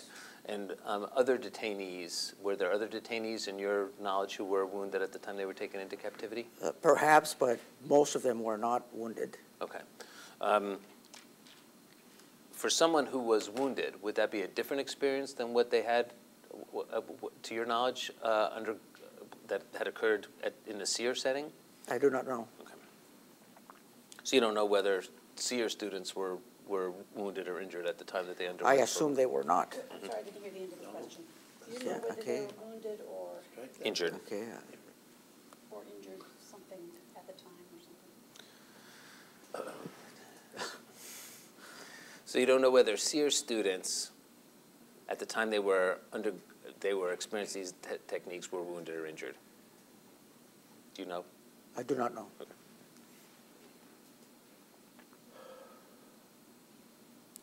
Um, Let me ask you this. Um, Were you concerned at all that some, some of the CIA officials who were, or others working with them who were applying these techniques would sometimes go beyond what they were permitted to do? Yes.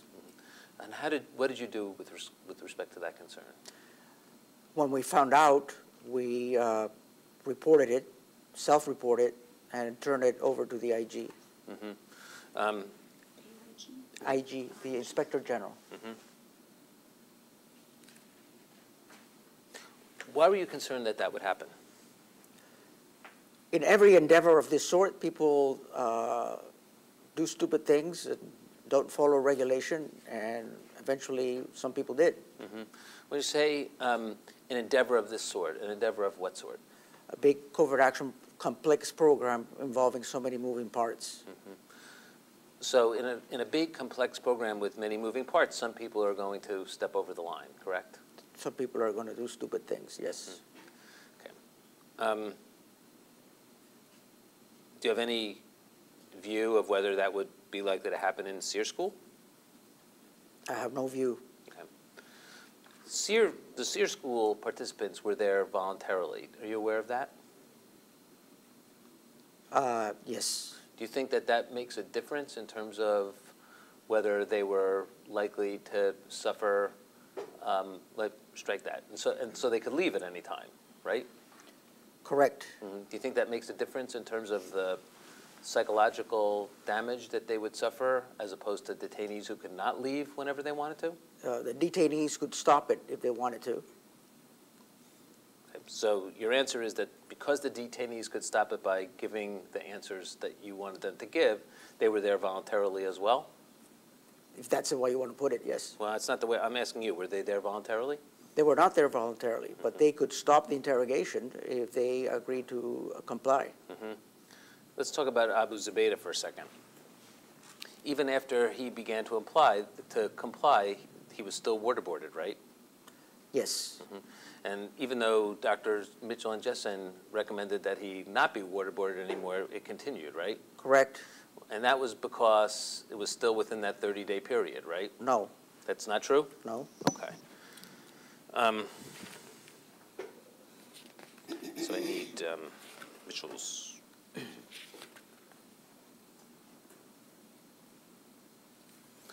Mitchell book, pages 88 to 90. Mitchell book.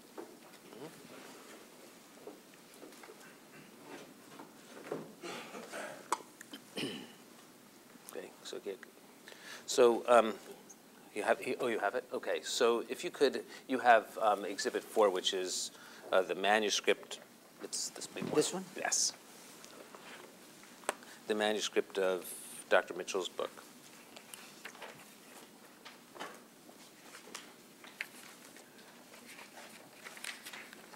four, Page 88. It's Exhibit 4. exhibit four, page mm-hmm. eighty-eight. Mm-hmm. Actually, um,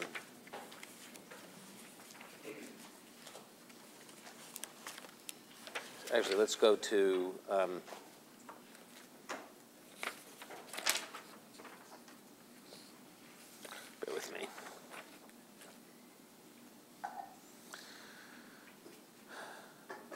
um, on page 88, line 15, it says, "As Abu Zubaydah began to offer up information that the targeters and analysts on site judged valuable and wanted more of, we asked for permission to stop using EITs, especially the waterboard. Do you see that? Yes, To our surprise, however, headquarters ordered us to continue waterboarding him. You see that? yes, Is that true? yes, Um, Were you involved in ordering uh, Doctors Mitchell and Jessen to continue to waterboard Abu Zubaydah? Yes. Why? Oh, Well, I was the head of it, and my analysts were concerned that perhaps he was not compliant. Um,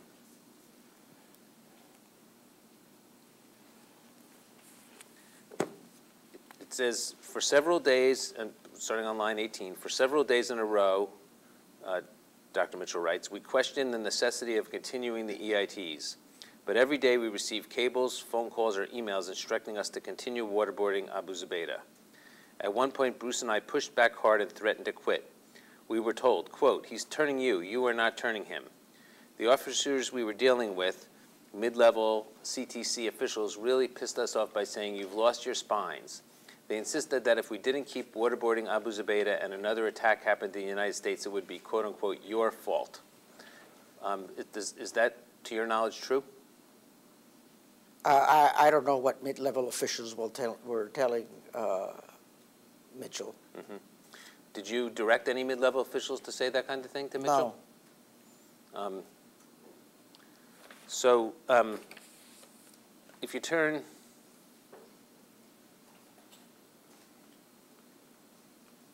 if you turn to page 90, middle of the page, line 10, it says, refers to a video conference, and it says, "Jose Rodriguez chaired the video conference. My take was that he was trying to be an honest arbitrator of the issue. He seemed focused on preventing another attack inside the United States and wanted to do it in the most straightforward way possible. He was being assailed by advocates on both sides of the argument, but seemed objective and not locked in on any one approach. We showed the videotape and voiced our opinion that we didn't need to continue using EITs, especially waterboarding. Not surprisingly, some in the room with Rodriguez objected. One or two objected vigorously.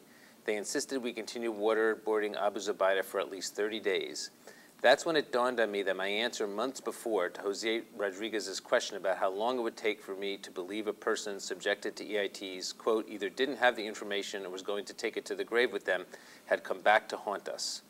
I pointed out that comment was made before waterboarding was incorporated into the list of potential EITs and didn't apply anymore. My question is, was, is, is Dr. Mitchell correct that the reason he was ordered to continue waterboarding was because it was still within the 30-day period? No, He's wrong about that? yes.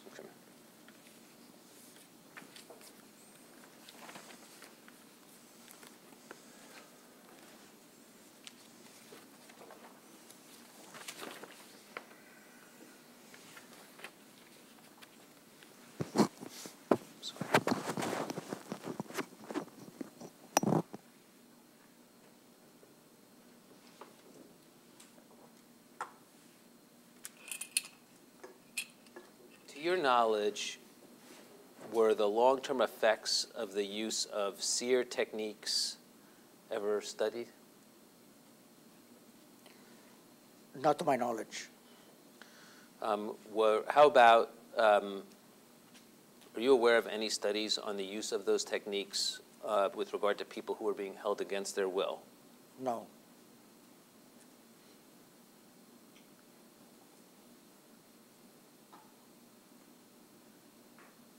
Do you have any knowledge about whether the use of the enhanced interrogation techniques would be expected to produce uh, post-traumatic stress disorder? no, Did you ever ask anybody whether the effects of, whether uh, the use of the enhanced um, interrogation techniques would, would be expected to produce post-traumatic stress disorder? no.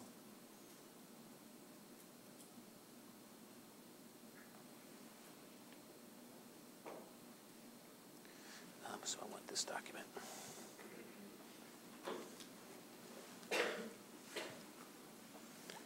Um, We have this marked? We have to mark this?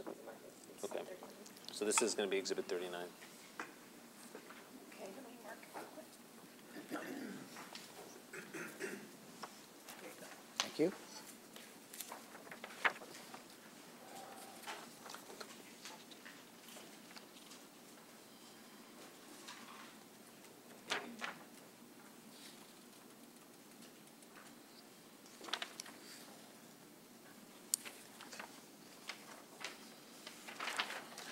Um, It's a long document, and I'm going to be asking you about a section on um, the page that has the number Bates stamp 001763 at the bottom. It's the second to last page.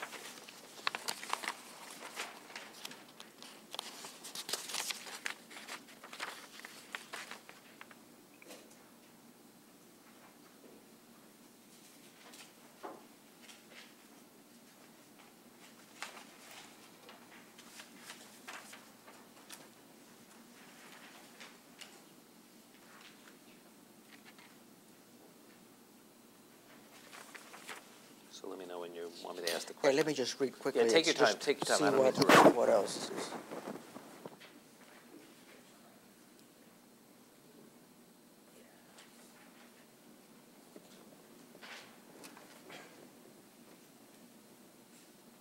Um, While you're doing that, for the record, Mr. Smith and I discussed this as well. In my representation before lunch about those documents that we regarded as business records, I may have been too narrow in just, in just limiting them to cables.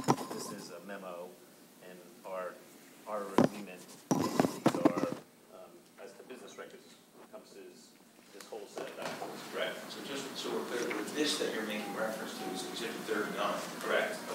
But I thought that what you contemplated was all of the documents produced by the government. We're going to stipulate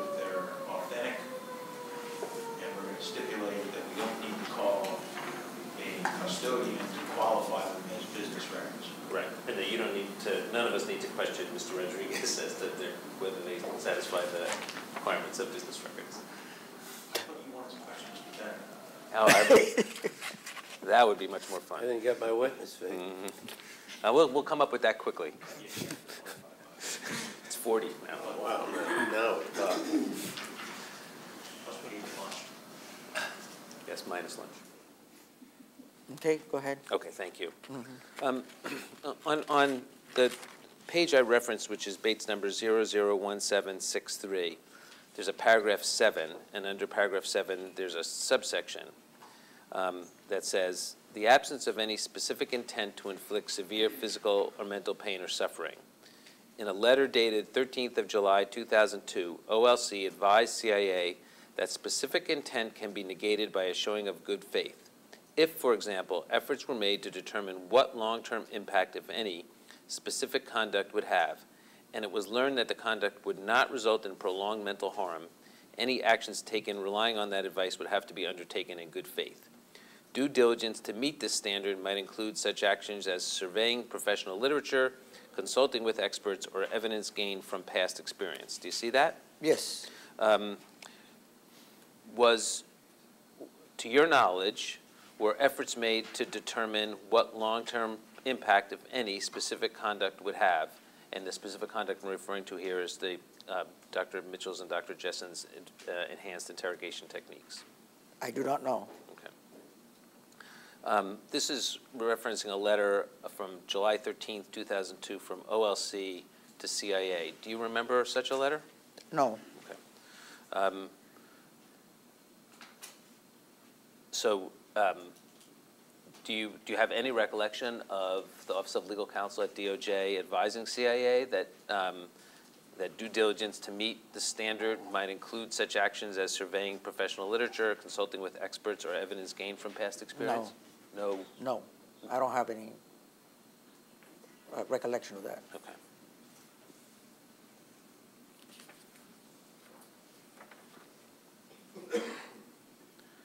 So,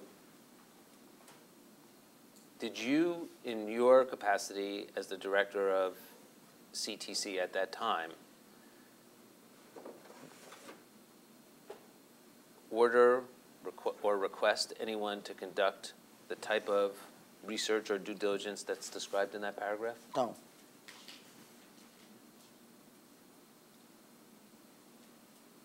Would you agree that you don't, that the long-term effects of the enhanced interrogation techniques was never explored in real depth?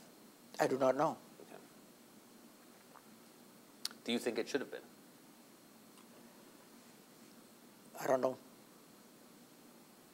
Do you, do you think it's possible that the enhanced interrogation techniques could result in long-term harm? Objection. Does that mean I answer it, or? Well, I object to the word possible, but go ahead if you can.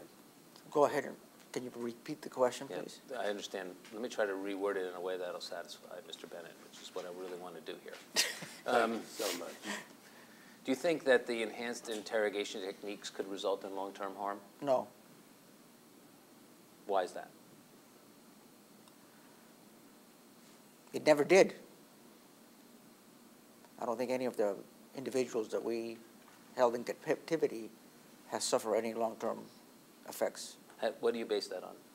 Just what I've known from the project and from what I've been told. Mm-hmm.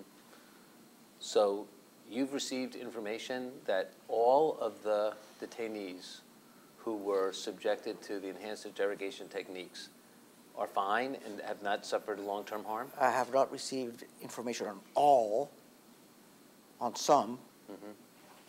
So have you received any information that any of them are suffering any long-term physical or psychological effects? No.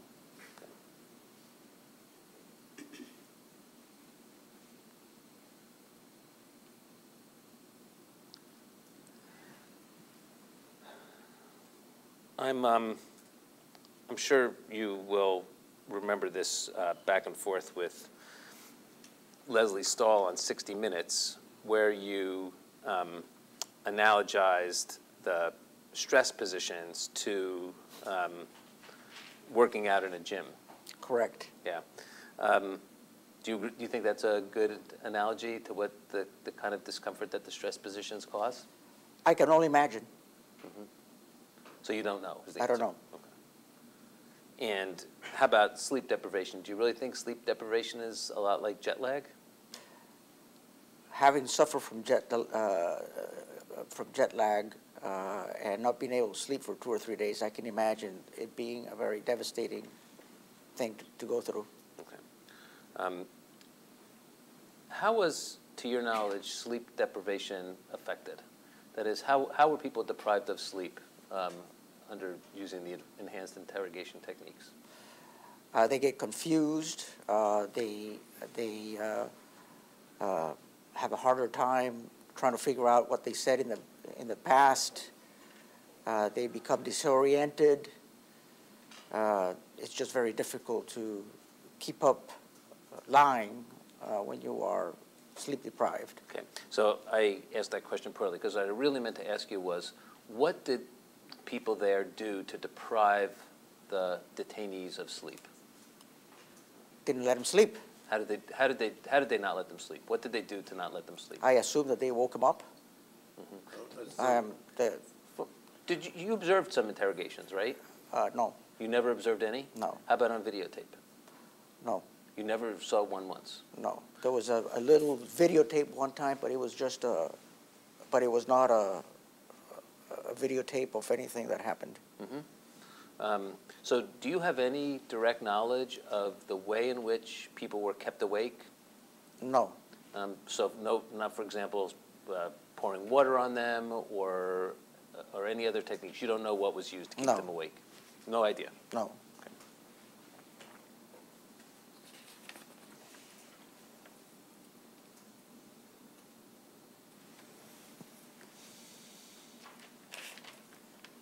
One moment, I'm getting close to being done here.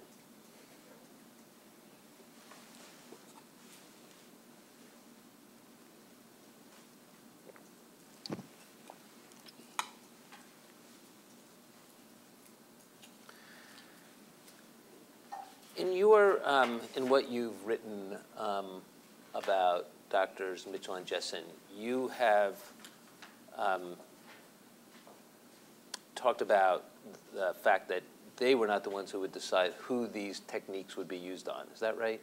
Correct. Who, who, dis- well, um, never mind, because that's going to get an objection. Um,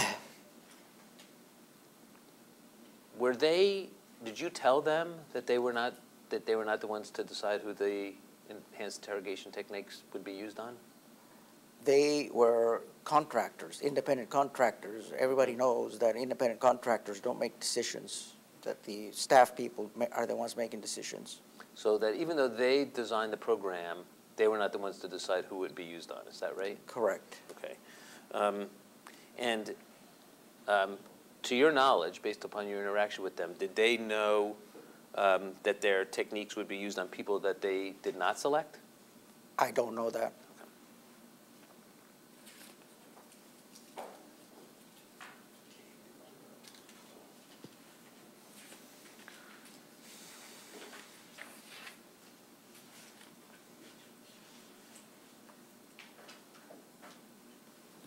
Okay.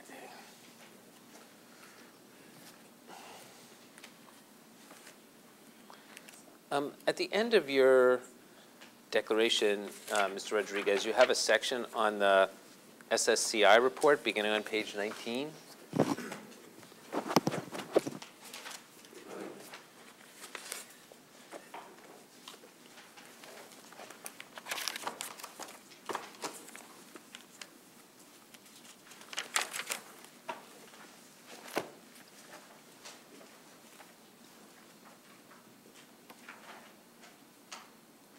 So pa- beginning on paragraph one- um, 121. Um, And on- in paragraph 122, you say that the SSCI report is an errant, one-sided assault on the CIA's EIT program that reaches numerous unsupportable and baffling conclusions. Um, And then you give an example on paragraph, in paragraph 125, where you say that the SSCI report states that on July 17, 2002, National Security Advisor Condoleezza Rice requested a delay in the approval of the interrogation techniques. In fact, on that date, Rice approved the CIA's use of EIT subject to DOJ approval. You see that? Yes. Um, How, um, is that the only example, it's the only example you give of ways in which the SSCI report is errant and one-sided? Um, Is, are there other examples? Of course, Uh, Can you provide another one? the uh, allegation that the enhanced interrogation program did not work and that no value came from them is totally erroneous. It's a travesty. Okay, so, so you're, you believe that the, um, that what the SSCI report says is that the enhanced inter- interrogation program did not work and that no value came from it? Correct. Um, Let me ask you this. Um, The CIA wrote a response to the SSCI report, right? Correct. Did you read that? Yes, I did. Okay, did you participate in assisting to draft that at all? No. Okay. Um, Is that, would you say that that response was also errant or one-sided? I don't think so, but I don't, I don't remember it. Okay, let me show you a couple of conclusions from that report. Um, Is this a new exhibit? It's Exhibit 21, already marked. Thank you. Thank you. Thank you.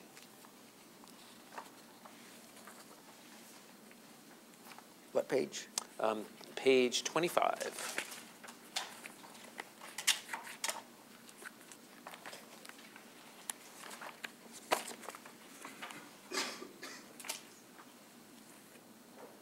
I think.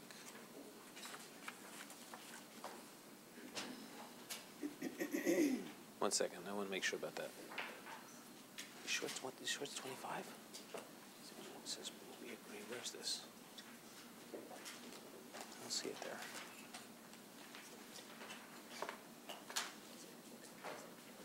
Oh, sorry. There's, there's, there's different page, there's two different page 25s, or at least two. So the, at- towards the end of the report, the, the page numbers go again. And are you sure that this is the right one? Hold on one second, just wait, well, I'm sorry, go, just give us one minute to Okay. get the, make sure we have the right page 25.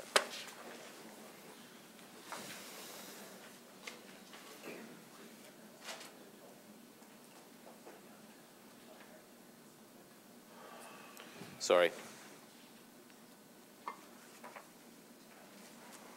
I got it.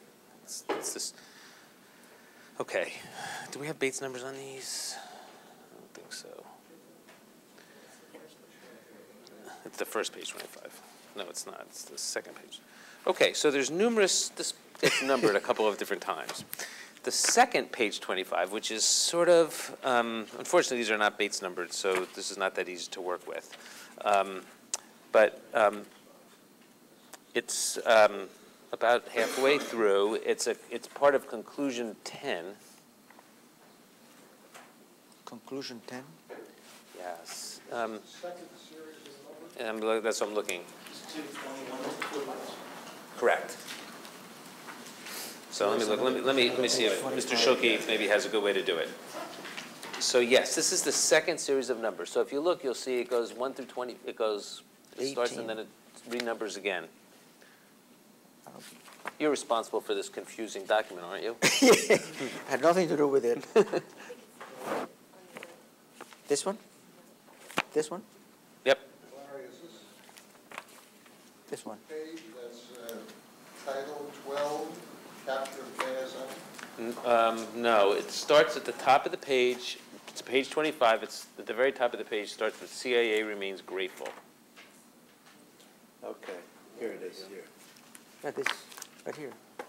Where's that, by the way? I got it. That's the first page 25. It's actually the second, I think, Hank, but whatever. All right, well, we got it. You got it. May- Maybe, it- anyway, you got it. Um, What I wanted to ask you about was, it says, "We agree," in- in in the first bullet point, it says, "We agree with the study, however, that that they, being um, Doctors Mitchell and Jessen, were heavily reliant on the views of the practitioner," I'm sorry. Um, It says, "CIA remains grateful to blank and blank who applied," pardon me, yeah, I know. Um, Oh, I see. Withdrawn. The second bullet point. As discussed in our response to conclusion 17, we agree that CIA should have done more from the beginning of the program to ensure there was no conflict of interest, real or potential, with regard to the contractor psychologists who designed and executed the techniques, while also playing a role in evaluating their effectiveness as well as other closely related tasks. Do you see that? Yes, I see that. Okay. Um, First of all, do you, uh, first of all, I mean, obviously, you agree that the contractor psychologists that we're talking about are Doctors Mitchell and Jessen, right? Yes, Um, And that they were the one, and the reason you say that is because they were, in fact, the ones who um, designed and executed tech- techniques. Um, But do you also agree that their company or they played a role in evaluating their effectiveness?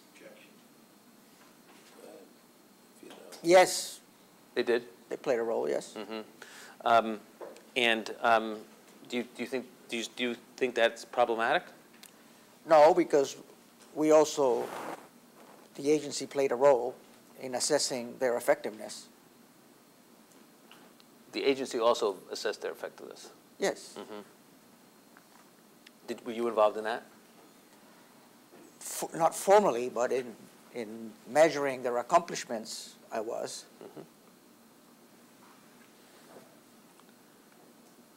Um, Later on, let me see if I have the right numbers here. On page 40, on page 48. Same series.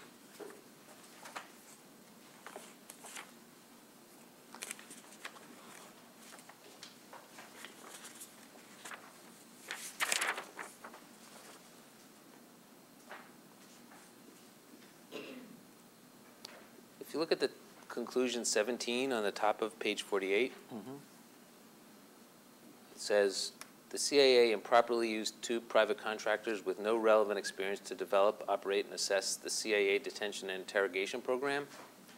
In 2005, the contractors formed a company specifically for the purpose of expanding their detention and interrogation work with the CIA.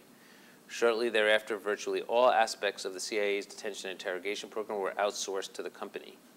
By 2006, the value of the base contract with the company, with all options exercised, was in excess of $180 million. In 2007, the CIA signed a multi-year indemnification agreement protecting the company and its employees from legal liability. I know. That's the language from the SSCI report, right? This is from the uh, CIA Right, so they're, they're responding to Right.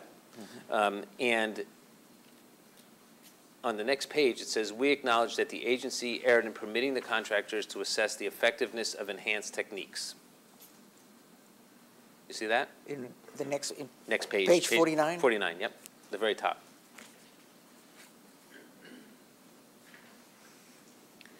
They should not have been considered for such a role given their financial interest in continued contracts from CIA. Do you agree with that? yes,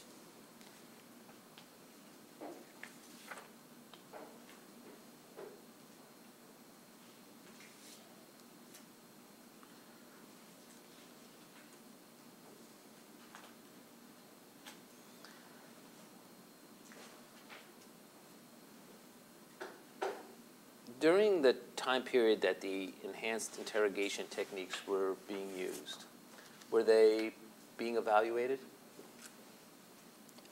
the techniques or Yeah, the, they, the- their effectiveness in them. yes, they were. Um, And was, were Doctors Mitchell and Jessen involved in that evaluation? The evaluation was based on results. And the results were, and you felt that the results were positive, and so that therefore the techniques were good? The results was uh, incredible, uh, very valuable intelligence that came to us that we didn't have before. And in assessing the results, was there any consideration at all given to the, the physical or psychological harm that was being um, inflicted upon the detainees? We didn't think that any was, uh, was being inflicted. Um, My question is, so that was, so that was evaluated as part of the No. program? It was not? No.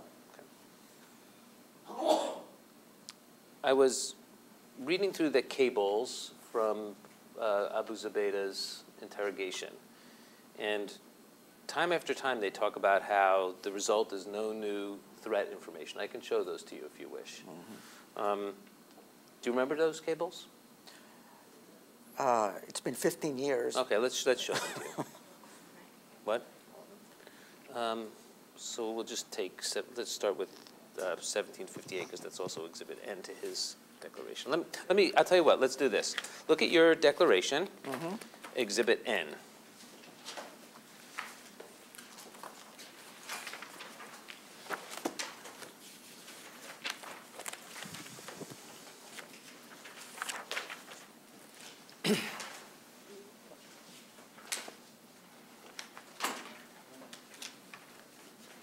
This is a cable regarding the interrogation of Abu Zubaydah, correct? Yes.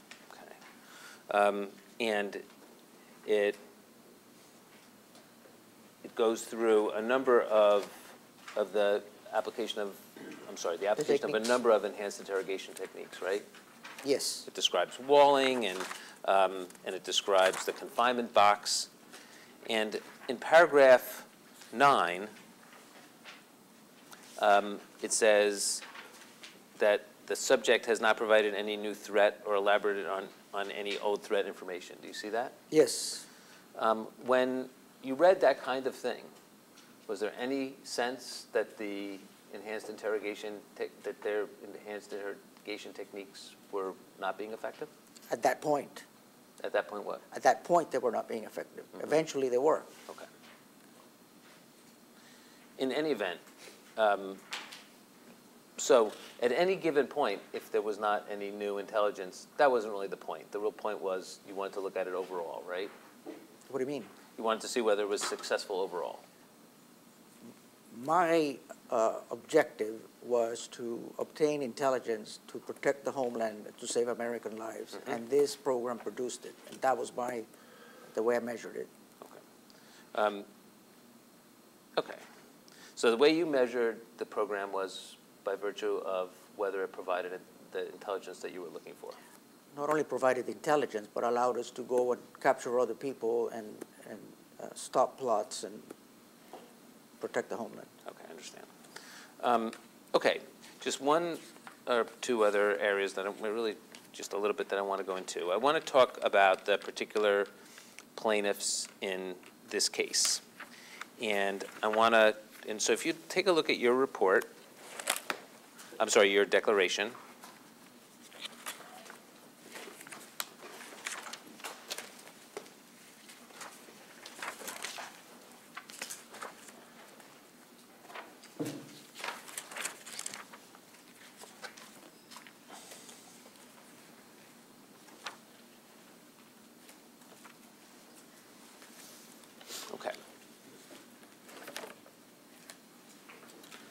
Let's start with um, paragraph,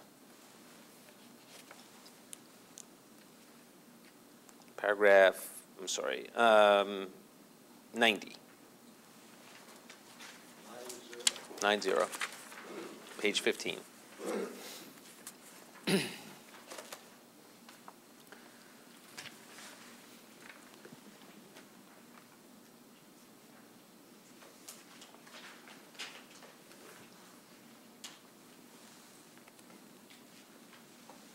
And um,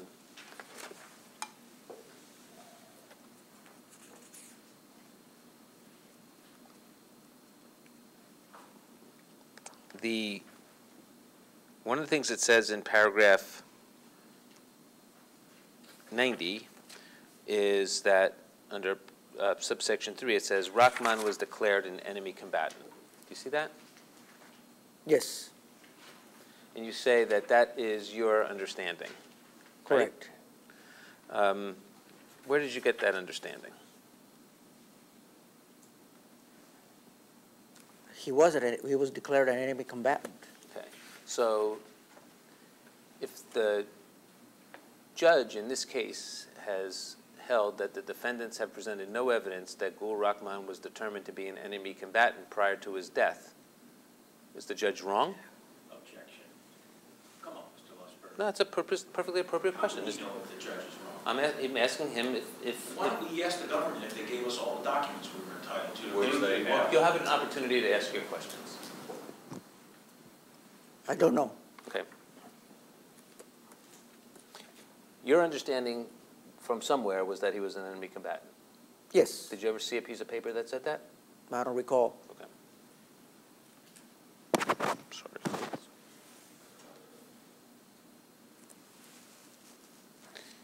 In, uh, paragraph 91, it just talks about how Mr. Salim, the plaintiff here, was designated as an enemy combatant. See that? Yes, Um, So we can have, maybe one. uh, uh, uh, let's mark this. Exhibit 40, let me show you Exhibit 40.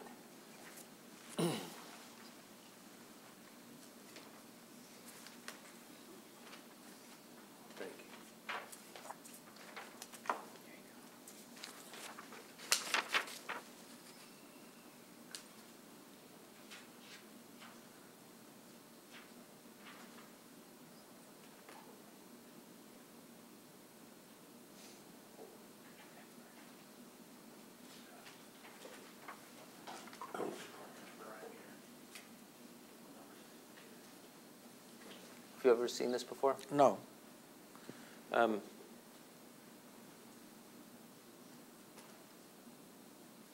So this was not, certainly not something that you had seen before you signed the declaration saying that, that uh, Mr. Salim was not an enemy combatant, right?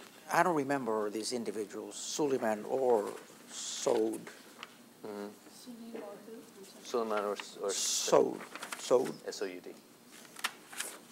You don't remember any of them? I don't. Mhm. And um, when you go through, um, so do you have any personal knowledge as to whether he was or was not an enemy combatant? No, Okay, and is that true with regard to Mr. Rahman and Mr. Soud as well? it's my understanding, but I don't don't have personal direct knowledge. Okay. Um, I see where you say, for example, in paragraph 102, "It is my understanding that Dr. Mitchell came in brief contact with Rahman even though he was not classified as an HVD." You see that? Yes. Okay. When you say it's your understanding, that means you don't have personal knowledge of that, Correct. right? Um, And when you say in paragraph 105, "It is my understanding that Dr. Mitchell observed Rahman one evening at Cobalt while Dr. Mitchell was traveling as he was uh, with Abd al-Nashiri as he was rendering, rendered to Black Site Green," that was also not based on your personal knowledge, it's based upon your understanding. Correct. And when you say it's based on your understanding, that's an understanding that you got by speaking to somebody else? By seeing these and seeing some of the, uh, By seeing ex- the these ex- being- exhibits and exhibits here. Okay. What, what exhibit were you looking at in order to uh, come into, to come to the conclusion that Dr. Mitchell came in brief contact with Rahman even though he was not classified as an HVD? I'll, I'll have to go through it, I don't remember. But you, you think you saw a piece of paper that Yes. said that? Okay, and, um, and likewise with regard to this, your understanding that Dr. Mitchell observed Rahman? You got that from some document? Yes. You just don't know? I think, I think it was the uh, Goldman, uh, the Rahman uh, investigation. Okay. You think you learned that from the Rahman I think so. investigation?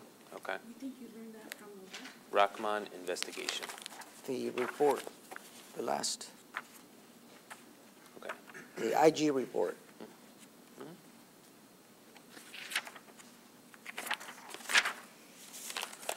Um, If, if you take a look, just generally look at um, paragraphs, so I don't have to do this with each one, uh, 102, 105 to 108, 110, and 114. Those are all paragraphs that begin, "is my understanding." In each case, is your understanding based upon the investigation of the Rahman death? 102, 103, 102, 105 through 108.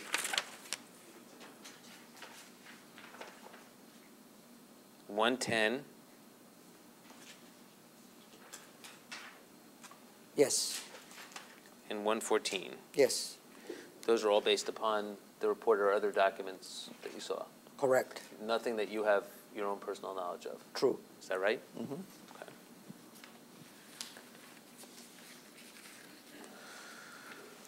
Okay. Just one. Last area.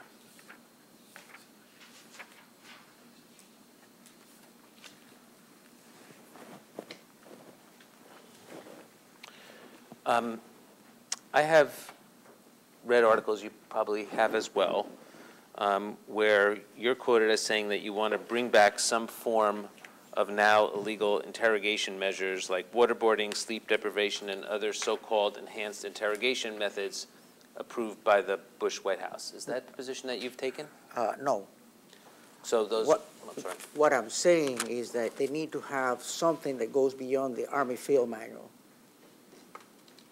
I, I don't think that some of those enhanced interrogation te- techniques can ever be brought back. They've already been, you know, given away, and there's too much controversy. Some other form of techniques that goes beyond the Army Field Manual. Have you consulted with um, President Trump or members of his administration with regard to quote-unquote bringing back torture? No, well, uh, we never brought, we never used tortures, I don't know what you're talking about. Okay. How about bringing back enhanced interrogation techniques? No, Have you s- spoken with any such people about uh, bringing back black sites?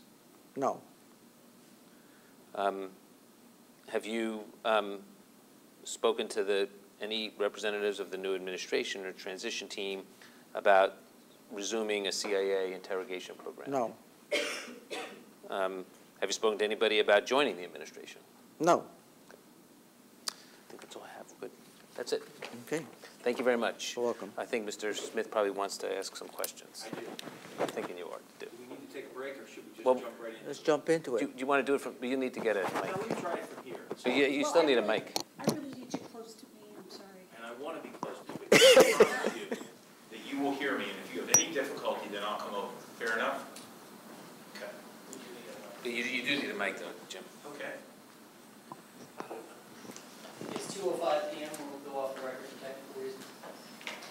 Can we, can we just? Hold on.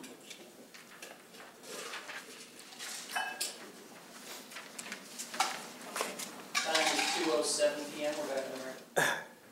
Mr. Rodriguez, good afternoon. Uh, My name again and still is Jim Smith, and as you know, I represent Doctors Mitchell and Jessen in this case. Um, Mr. Rodriguez, are you familiar with the plaintiff's theory in this case? Of enhanced interrogation, Yeah, what the plaintiff's theory is in this case. Are you familiar with it? uh, can you run it by me? Okay. Let me do a little background, and then we'll get to it. You mentioned in your testimony with Mr. Lustberg a high-value target. Do you remember you used those words? Yes, Okay. Is that synonymous with a high-value detainee? correct. Okay. Can you tell us, um, for the record, what a high-value detainee is? A high-value detainee is someone who uh, is believed to have intelligence uh, involving threats to the United States, uh, its people, or its interest overseas. Okay. And are you familiar with the concept of a medium-value detainee? Yes, Can you tell us what a medium-value detainee is? someone involved in uh, war against us, uh, but who may not have that level of intelligence uh, that represents an immediate threat to our country. And are you familiar with the concept of a low-value detainee? Yes, Can you tell us what a low-value detainee is? a lesser combatant, uh, facilitator, uh, person who is not uh, as dangerous as a medium-level detainee. And I take it that high-value detainees, medium-value detainees, and low-value detainees were all considered enemies to the United States of America? Yes, Now, in 2001, when you started working with CTC, did you start using those words, high-value detainee, medium-value detainee, and low-value detainee? I don't recall. Okay. Can you approximate when you started using those terms? When When we captured Abu Zubaydah, Okay, now let's, let's talk about that for a second. Was Zubaydah, strike that. Which one of the three categories did Zubaydah fall within? high-value, And why did the government believe that Mr. Zubaydah was a high-value detainee? because uh, he had come across our screen uh, in 2000 uh, regarding the Millennium Plots and his dispatching of a terrorist to come into the U.S. through Canada to blow up uh, LAX in California. So the government at the time of his capture believed that there was information that he was directly involved in a plan to blow up the Los Angeles airport? Correct. Okay. Now, did the government also have any beliefs about what relationship, if any, Mr. Zubaydah had with Osama bin Laden? Yes. Can you tell us what it is? Well, at one point, we thought he was the chief of operations, uh, but we knew he was a senior uh, Al-Qaeda operative. Okay. Now, at the time that Mr. Zubaydah was captured by the United States government, what relationship, if any, did the CTC believe that Zubaydah had with Osama bin Laden? As far as I can recall, we, we assumed that he had a close relationship with Osama bin Laden. Was he considered Osama bin Laden's first lieutenant, or He- one of them at least? He was considered uh, chief of operations at one point. It was either him or Khalid Sheikh Mohammed. But we knew him to be a senior, Khalid Sheikh Mohammed. But we knew him to be a senior person in the organization. Okay. Now, when was, when was Zubaydah captured? March 2002. Okay. Now, in March of 2002, he was captured and he was taken to, I think, what's referred to as a black site, right? Correct. And I'm not asking you to tell me where that black site was. Let's just make that clear, okay? Good. But- wouldn't tell you anything. Understood. I just didn't, and that's good. Now, do you know, sir, if that black site was a site for high-value detainees? We made it a site for Zubaydah uh, at first and then Nashiri second. So it became a site for high-value detainees. Now, let's talk about Nashiri for a second. Um, Al Nashiri was who? Nashiri was responsible for blowing up the USS Cole. Okay. USS Cole, Cole. Cole, C-O-L-E. And Nashiri was captured when? Sometime in the fall of 2002. Okay. And he was taken to the same black site where Zubaydah was kept? If I recall correctly, yes. Okay. And he was considered a high-value detainee?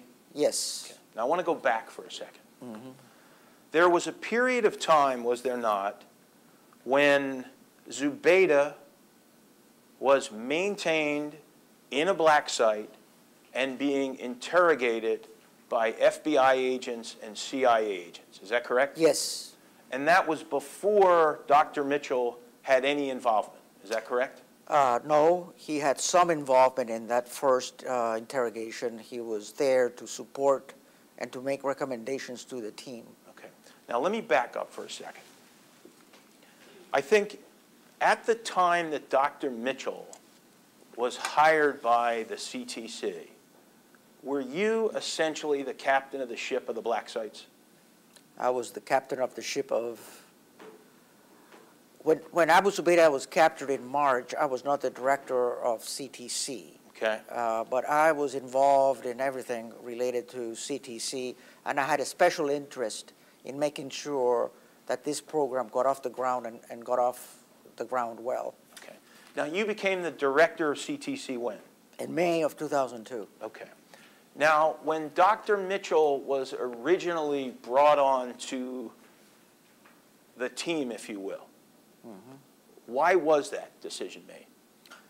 This, the decision was made because we had impending threats of all kinds of attacks, anthrax and nuclear and second wave of attacks, and we needed to do something different because we were not getting information through traditional interrogation of Abu Zubaydah. Okay, so let's talk about that for a minute. As of the time that Dr. Mitchell was brought on, is it fair to say that the traditional forms of interrogation that were being utilized by the FBI and the CIA were not given, were producing results about what the government was concerned about regarding impending threats? They had produced two results, two pieces of information that were significant, but once he regained his strength, he stopped talking. Okay. And when was that that he stopped talking? Uh, April, May time, time frame, 2002. And are you able to tell us about those two pieces of information? I think so. Uh, we've talked. Can we have a conversation? Absolutely. Step outside. Time is 2:15 PM, or, uh, 2:17 PM, we're back on the record. Could you repeat the question, Madam Court Reporter?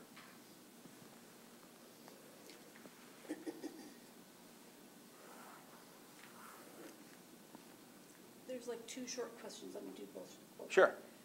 And when was that that he stopped talking? Answer April, May timeframe, 2002. Question, and are you able to tell us those two pieces of information? The two pieces of information that Abu Zubaydah had uh, divulged during the first phase of that uh, interrogation was that he confirmed for us that Mukhtar, and we have seen Mukhtar in, in, in all kinds of different intercepts, was actually Khalid Sheikh Mohammed. The second one, and it was very vague information regarding uh, an individual who was supposed to go to the U.S. Uh, to detonate a, a WMD type of device. WMD, Oh, WMD. right. Uh, we, he gave us enough where our overseas installations were able to identify the individual as Jose Padilla, and we uh, found where he was, and we tracked him all the way back to uh, Chicago, where we alerted the FBI, and he was arrested. He actually was had a plan and had been given ten thousand dollars by Khalid Sheikh Mohammed to uh, blow up apartments, residential apartments in different parts of the U.S. using natural gas, and have them go off at the same time. Now, you mentioned Khalid Sheikh Mohammed. Um, can you tell us who Khalid Sheikh Mohammed is?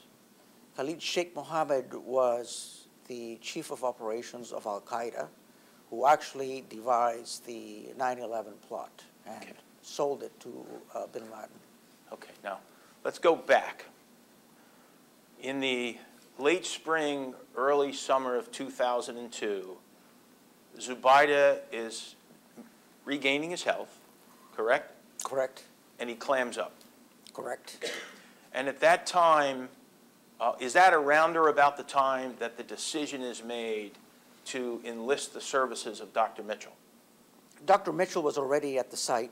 Uh, He was providing uh, recommendations and observing what was going on. Okay, But that was about the time that we knew that we had to do something different. okay. Now, you identified in your direct examination with Mr. Lustberg um, documents that were marked as Exhibits J and K to the declaration that you signed that's marked as Exhibit 36 in this case. Could I ask you to get out 36? Which one? Exhibit 36. Let's go to item Exhibit J within Exhibit 36. Exhibit 36? That's the declaration. Oh. So,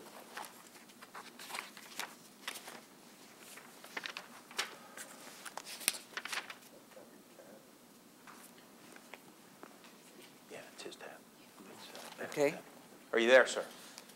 so, yeah, you say. So we're clear. So paragraph 36 on the declaration? No. no.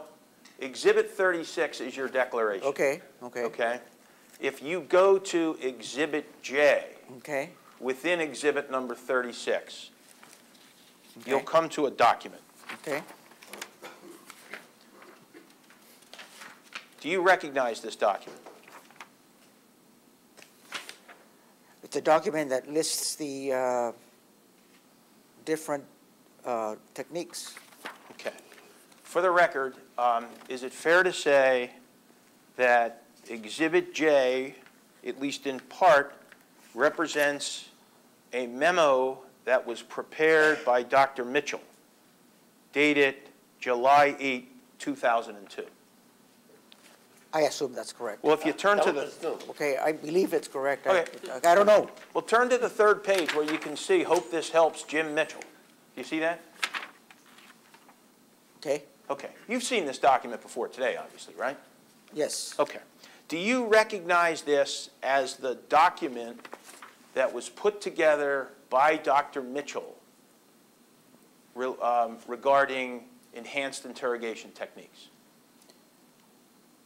I believe that's right. Okay. Now, were you the person that asked Dr. Mitchell to put this document together, to prepare it? Yes. Okay. And just tell us, so the record's clear, why you wanted him to prepare this document. We were searching for a new way of doing things, and this seemed like the appropriate way to go. Okay. And we needed to have more specific information regarding what were the techniques that he was talking about. And these are interrogation techniques that are set forth in Exhibit J, right? Correct. Okay.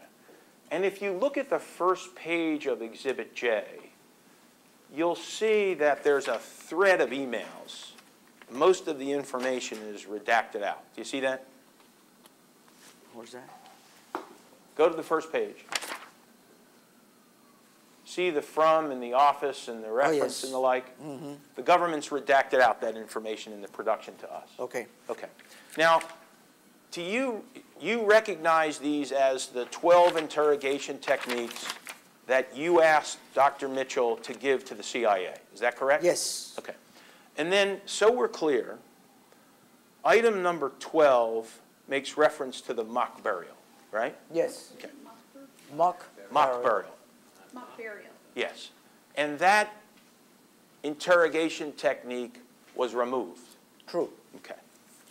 Now, let's go forward for a second. When Dr. Mitchell was hired by the CIA,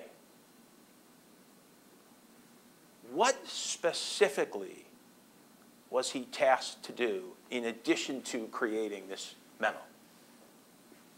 He was hired in December of 2001 to be a consultant uh, to provide advice to do applied psychology. When he, when CTC hired him uh, in July, we had hired him before to go to uh, the uh, black site.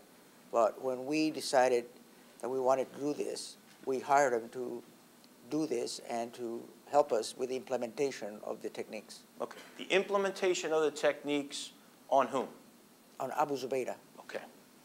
So is it fair to say, Excuse me, I object to both counsel have used the phrase, "is it fair to say?" And I don't know what that means. It means different things to different people, so could you rephrase that? I could, Thank you. and if I do it again, it's not intentionally, just an old I- habit Yeah. That now that you tell me I should get rid of it, Yeah. I'll work hard to do that. Okay. It's I- like I my- don't I be- assume- I don't believe it's not intentional, but go ahead. All right. Give it your best shot. All right. Um, The, okay, so the engagement, Dr.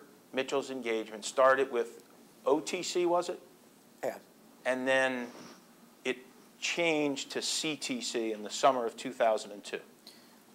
I believe we gave, we, we paid for uh, his services when he uh, went for, uh, to the uh, first uh, location uh, with the FBI, and that was in April Okay. of, of 2002. But by the time he created the memo dated July of 2002, he was working for CTC, Correct. right? Yes, Okay. And this memo was created solely for the purpose of interrogating Zubaydah. Is that correct? yes, Okay. Mm-hmm. Now, did there come a point thereafter when Dr. Mitchell, well, let me back up for a second. I think you testified on direct examination that at Dr. Mitchell's request, the CIA also agreed to engage Dr. Jessen. Is that correct? Yes, And when did that happen? July 2002, Okay, around or about the time of this memo? yes, Okay. And was that solely to assist in the interrogation of Zubaydah? yes, Okay. Now, did there come a time thereafter when Drs. Jessen and Dr. Mitchell started assisting in the interrogation of Abu Zubaydah? yes, Now, I want to go to a statement that you made. You said, if I wrote it down correctly, that Drs. Mitchell and Dr. Jessen were independent contractors. yes. Remember you said that? Yes, And then you said, if I wrote it down correctly, independent contractors do not make decisions. Do you remember you said that? yes. Tell us what you mean by that. Independent contractors are subject matter experts. Uh, They give us knowledge that we don't possess. Uh, They make recommendations, but the ultimate decision makers were the staff people, the leadership of the Counterterrorism Center. Now, who were those decision makers? Objection. Oh, fair point, fair point. I'll withdraw it. Am I permitted to ask the witness if he was the decision maker? Uh, yes, as- as long as we avoid names Yeah. and, uh, and identifying information of other individuals. What I- about titles? Uh, titles, it is, it is, it depends on the exact title. Let, let me see if I can do it a different way. Can you get out exhibit number 38, please? Number 38, Exhibit number 38, yes. where's that? What, what is it or where is it? It's in your pile of information because Mr. Lustberg showed it to you.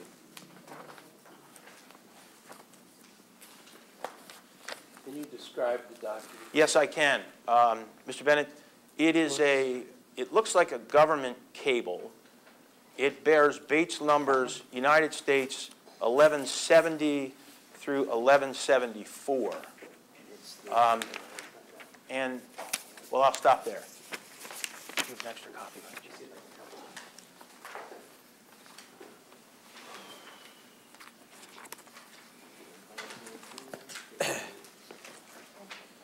That one? Yeah. We got it. You got it? Okay. Do you have Exhibit 38 before you? I have it. Okay. Do you remember that you were asked questions about this um, document in your Yes. direct examination? Yes. Okay. Now, I want to just direct your attention to, again, the first page where it says DCI guidelines for the conduct of interrogation. You see that? Yes, I do. And do you recognize Exhibit 38 as being the guidelines for interrogations? Yes. Okay. Now, turn, if you would, to the second page of the document. In paragraph marked three, do you see where it says begin text of DCI guidelines? Yes. Of DCI guidelines. Okay. I'm going to ask you to jump down two sentences. In the paragraph, do you see where it says, quote, "These guidelines address the conduct of interrogations of persons who are detained pursuant to the authority set forth in the memorandum of notification of 17 September 2001." I see You it. see that? Mhm. Are you familiar with that memorandum? The 17 uh, September memorandum? 2001 memorandum? Yes, Are you familiar with it? I am familiar with it. Are you able to talk about it without violating any um, obligation for classified information? Oh, we need to consult, depends on the Okay. details. Got it. Ready to consult? Time is two thirty P M. Two thirty-four P M, back on the record. Do you remember the question, Mr. Rodriguez? Yes, you were talking, you were asking about the uh, 17 September MON. Yes. And uh, after discussing it, I'm only authorized to talk about the capture and detain portion of that authority. Okay, can you tell me whatever you're permitted to tell me? I'm telling you, capture and detain portion of it is that the CIA has the authority to go forth and capture and detain terrorists. Okay. When you say capture and detain terrorists, you mean low value, medium value, and high value, high detainee value terrorists? I, I don't think they make a determination uh, there on, Okay. on When- that document. When is the determination made? The determination uh, is made uh, upon capture. Okay. I mean, in many cases, we knew who were we going after, so we already, if we were going after a high-value target, we already knew. Okay. But sometimes other people, people were captured in different ways, and at, a- at the time, depending on the knowledge that they had, a determination was made. Okay. Thank you, Mr. Rodriguez. Mm-hmm. Could I ask you to go back to exhibit number 38 and turn to the third page of the document? I want to focus on the paragraph, the first full paragraph on that page. Do you have it before you? Yes, Now, let's just back up for a second. Did I hear you say earlier today that enhanced interrogation techniques were only to be used on high-value detainees? yes, Okay. And that was your understanding of the policy and procedures that was in place starting in 2002 and forward? Is that correct? correct. Okay. In the fall. So, to the extent that Dr. Mitchell created that memo that listed those 12 items, it was only contemplated to be used on high-value detainees. Is that Yes, correct? Yes. Okay. Now, I want to talk about the concept of control, okay? Go back to this paragraph again, and we're going to read it together.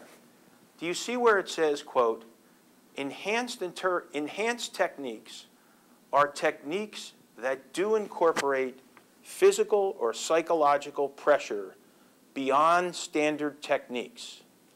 Do you see that? Yes, Reading on, it says, "The use of each specific enhanced technique must be approved by headquarters in advance." Now, let me stop right there. What headquarters is being referenced there? Is that Langley? that's uh, CTC, CTC. Where's CT, where was CTC located? Uh, uh, CIA headquarters And where's that? in Langley. Okay. So according to the procedures that were in place, no enhanced interrogation could take place unless Langley signed off on it and approved it. Is that correct? Yes, And that was your understanding as the person who was in charge of this program? yes, Okay. And then it says, in addition to being headquarters approval, it must be approved by whom? In some cases, if it was like waterboarding, uh, uh, I believe we had to go to the director to get his approval, The director was who? George Tenet at the time. Okay. So any time, for example, Zubaydah was waterboarded, the director had to sign off on it? I don't correct? think, he- no, uh, I think the director uh, provided approval to do and ha, to do waterboarding. I don't think that he approved it every time, but I'm not sure. I don't think that was the case. Okay. Did you have to approve it? There was a chain of command, you know, the cable would come to me and I would have to sign off on it myself. So I would be part of the approval process. Okay. Who else was part of the approval process? I don't think I'm allowed to say. Oh, got it, got it, sorry, sorry, okay. But there were others within the chain of command at Langley that were part of the approval process? Uh, uh, Yes, Okay. Now, why did the CI, well, strike that. Why was this process put in place that before there could be any enhanced interrogation techniques, officials at Langley had to sign off on it? Why was that? Well, because this was serious business and we wanted to make sure that uh, it was not done without the approval of the highest levels of the agency. Okay. And what happens if it wasn't approved? Would that mean no enhanced interrogation techniques? No, no enhanced interrogation techniques. Okay. Reading on, it says, and may be employed only by approved interrogators for use with a specific detainee. Do you see that? Yes. Okay. Why was that part of the process or procedure that was in place? Well, we just wanted to make sure that uh, each detainee uh, had its own approval process. Okay. So with respect to any detainee for which enhanced interrogation techniques would be used, it had to be specifically approved by or for that particular detainee. Correct. Correct. Okay. And reading on, it says, with appropriate medical and psychological participation in the process. Do you see that? Where are we again? Yeah, we're in that same Same sentence in the same paragraph where it Yes. says, see where it says with appropriate medical and psychological participation in the process? Do Yes. You see that? Mhm. Can you tell me what that means? With the appropriate, I, I don't, I don't know what it means. Let me be more precise in my question. Okay. I'll withdraw the one that's pending. Okay. As part of the process that was implemented by the CIA, was it necessary to have a psychologist and a medical doctor in the room while enhanced interrogation techniques were being used on a detainee? Yes. And why was that process put in place? It was put in place to make sure that uh, no harm came to the uh, detainee, and, and if there was a medical emergency, that there would be someone there that could treat it. Okay. Now, I'd like you to turn to the last page of this document. Actually, it starts on the, on the preceding page. I apologize.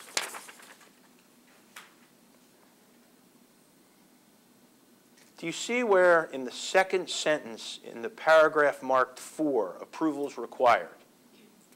Do you see where it says, in all instances, their use shall be documented in cable traffic. Prior, prior approval in writing, e.g., by written memorandum or in cable traffic from the director, DCI Counterterrorist Center, with the concurrence of the chief CTC legal group, is required for the USF of any enhanced techniques. Let me stop right there. Do you see that? Yes, I do. Was that the procedure that was in place in the years 2002 through 2004? Yes. So for example, if a plaintiff in this case contends that they were waterboarded, if procedure was followed, you would expect to see cables authorizing the waterboarding. Is that correct? Yes, And in the absence of the cables, it would suggest to you, would it not, that either there was no waterboarding or it was done in an unauthorized fashion at the site? yes, Okay. Have you ever seen any cables authorizing any enhanced interrogation techniques on plaintiffs sued in this case? no, In your capacity as the director, would you would have had to authorize those enhanced interrogation techniques if in fact they were done according to procedure? What year were those captures? 03 and 04. Yes, Okay. Did you ever authorize any enhanced interrogation techniques on plaintiffs Soud? no, Did you ever authorize any enhanced interrogation techniques on plaintiff Salim? no, Did you ever authorize any enhanced interrogation techniques on um, Rahman?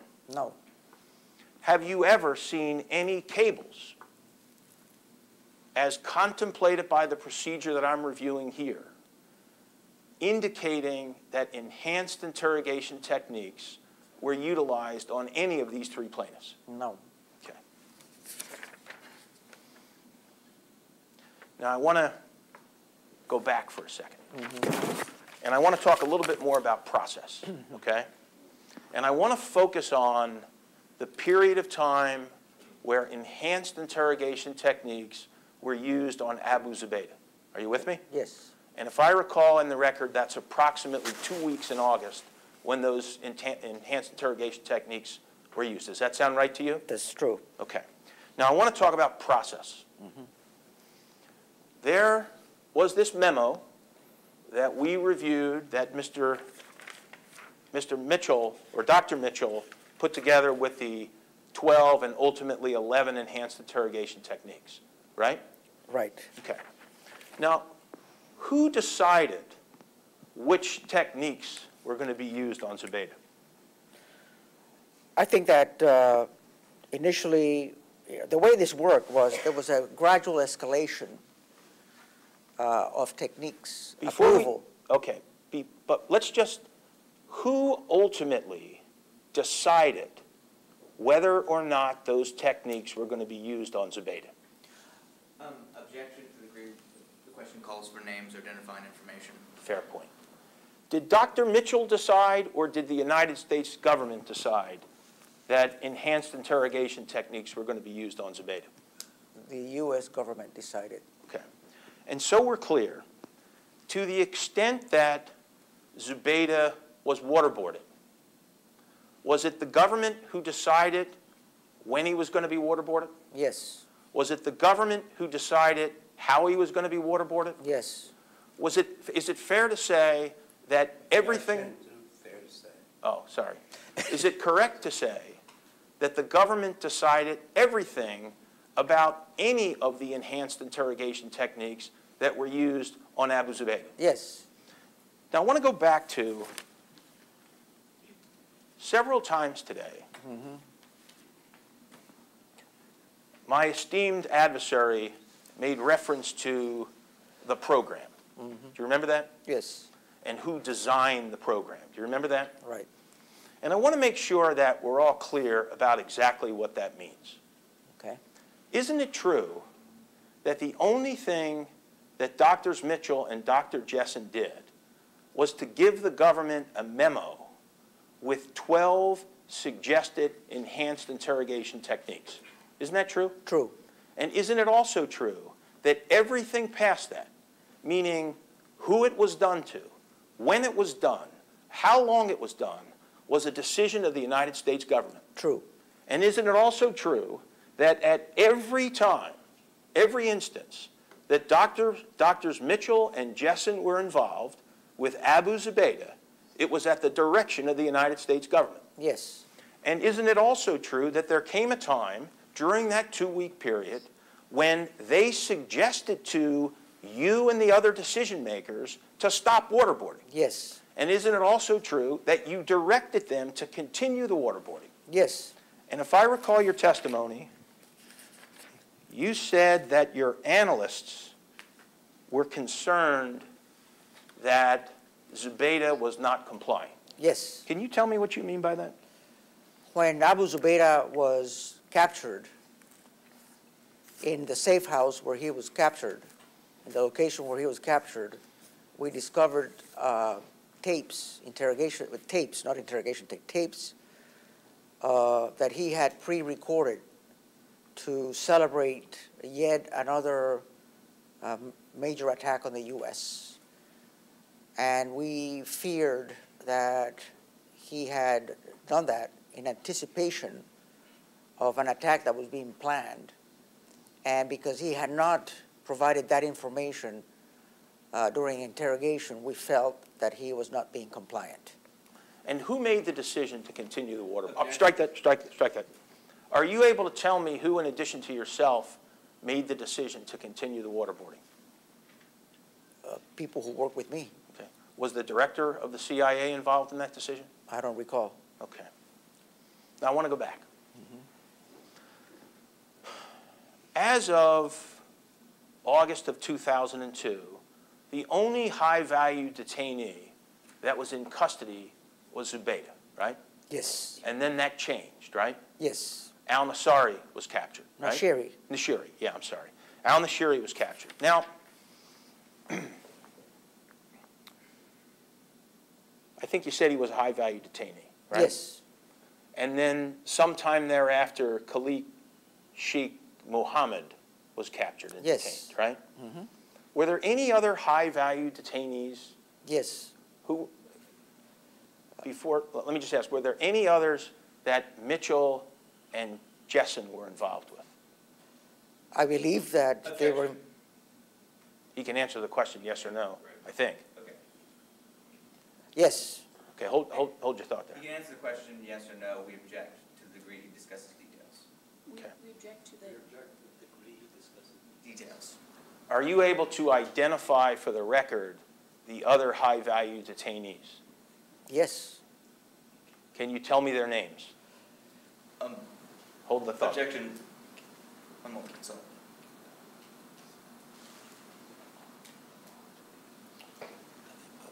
Yeah. Probably. Um, to clarify, just to redirect to the classification guidance um, indicating which detainee, the detainees that can be discussed, which are the 119. They were not all high-value detainees. Sure the name you were gonna get is publicly known. I Yes, don't think he understands his objection either. The name he has is, he says publicly known. Mm-hmm. The particular name. I'm sorry, I can't get what you guys are saying, if you want that on the record. let me hear. we'll talk about it. How about, just just one minute to consult. Of course. Two fifty-one PM on the record. Two fifty-three PM, back in the record. Thank you uh, for the chance to consult. The government will object, in part, will object, uh, we've instructed the witness uh, not to discuss um, any involvement of uh, Doctors Mitchell and Jessen with um, particular detainees uh, beyond Khalid Sheikh Mohammed, Abu Zubaydah, al-Nashiri, and Gulmar Rahman. Okay. So, let's just, can we agree that there were other detainees, high-value detainees? Yes. And Yes. can we call them Mr. X's? If you want, Is that fair? Okay, Yes. just, here's the point that I'm trying to understand. Or Mrs., Mr. or Mrs. Were No, there, there were were no any, misses. There were were no there any misses. women? I'm just No. trying to be. yeah. No, he's not, he's making trouble. Yeah. So, let me ask you, we, we went through, Mr. Rodriguez, the process that was used for Zubaydah mm-hmm. when enhanced interrogations were utilized, right? Correct, And that, there were cables, the procedure was followed, correct? correct. And the government decided when to do it, how long to do it, which days to do it, et cetera, and directed the team. Is that fair? That is fair. Was the same process utilized for the other high-value detainees? Yes, Okay, so we would expect to see for uh, Al Nashiri, the same cables and the like, to the extent that he was waterboarded or other uh, enhanced interrogation techniques were used, correct? Yes. Okay. And in all of those instances, Doctors Mitchell and Dr. Jessen acted under the direction of the CIA. Is that correct? That is correct. They exercised no independent judgment. They did what they were told. That is correct. Okay. Now,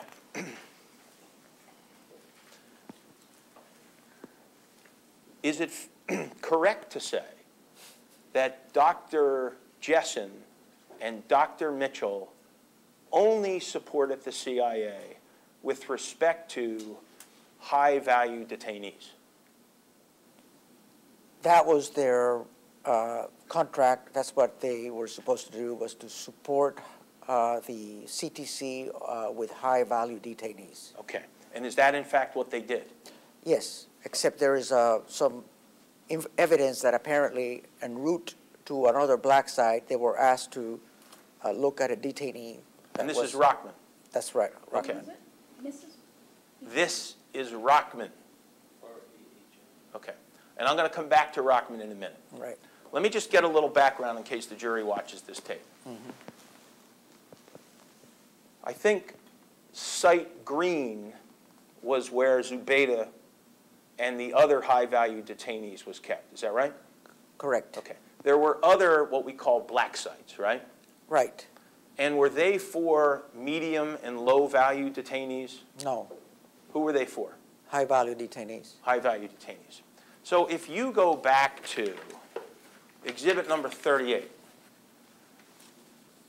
Is this yes. Do you remember Mr. Lustberg asked you why this memo was sent to Cobalt? Yes, Okay. And for the record, so that everybody understands, Cobalt was a name for one of the black sites, right? yes, And is it fair to, is it correct to say that the reason why these procedures were sent to Cobalt is because there were high-value detainees at Cobalt? I guess. I don't know. You don't know? I don't know. Okay, I'm surprised by it. okay. All right. Now, let me, let me go back to, you said that doctors Mitchell and Jessen designed the program. Remember? Yes, And then I think you even said that they were the architects of the program. yes, Okay.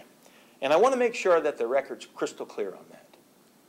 What you really meant by that was they prepared a memo with 12 enhanced interrogation techniques, right? yes, That was to the, that was the extent of their architect, if you will. yes, And after that, every decision about when and how to use those techniques was a decision that was made by the United States government. Isn't that right? that's right. Okay. Now, were enhanced interrogation techniques that are a part of that memo intended to be used on low-value detainees? No, Were they intended to be used on medium-value No. detainees?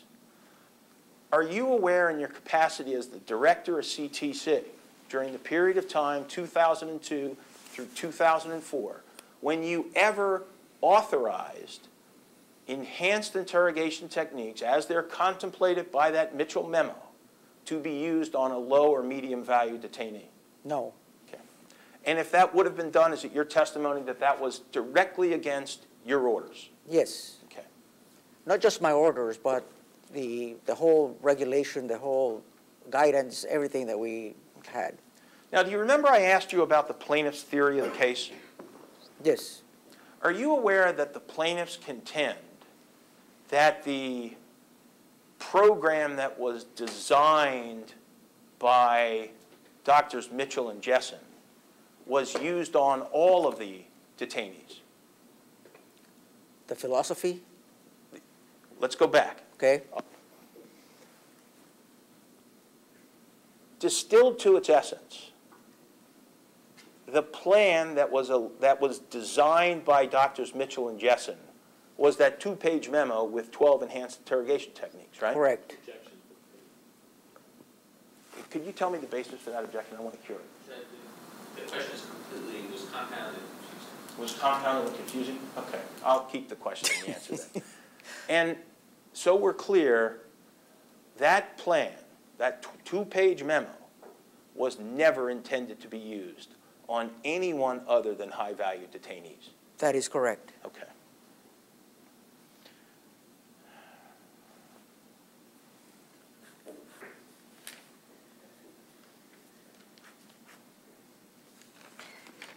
Now, I want to ask you about these three plaintiffs. Do you have that document? I think I have a document that you authored, and we're going to find out in a second. What's the next exhibit number? Forty-one. Are we, are we sequentially marking them with them? Okay. 41.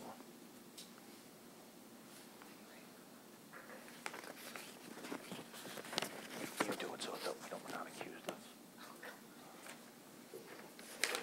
For the record, Doc, uh, Mr. Rodriguez, we have marked as exhibit number 41, a document produced by the United States government. It bears Bates label 001542 through 1544. Let me mark that real. let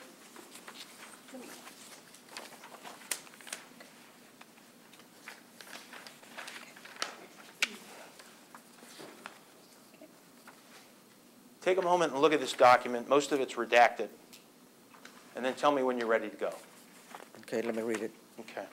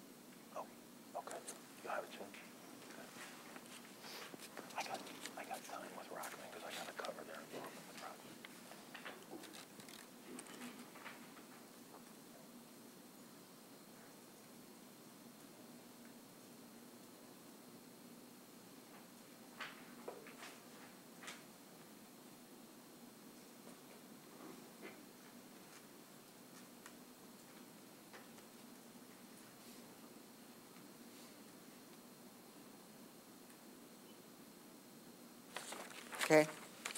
Have you read the document, sir? Yes. Do you recognize this document? No. Okay.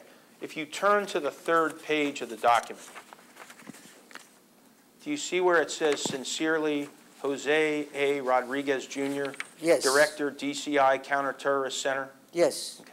That's you, isn't it? Yes, but you know how many of these I signed? Uh, That's why I couldn't remember. Okay. I'm, I'm not being critical of you. No, I'm I'm just just telling if. I can refresh your recollection. Okay. All right? Mhm. So let's go back for a second. Do you Tell want- me, Want a Xanax or something? well, he's getting all worked up about, it, is it fair to say? Lawyers have been saying it for 100 years. I got a whole collection of Okay. pills All right, Mr. Bennett, are you okay? as well as usual. All right. Sir, c- tell me what this document is.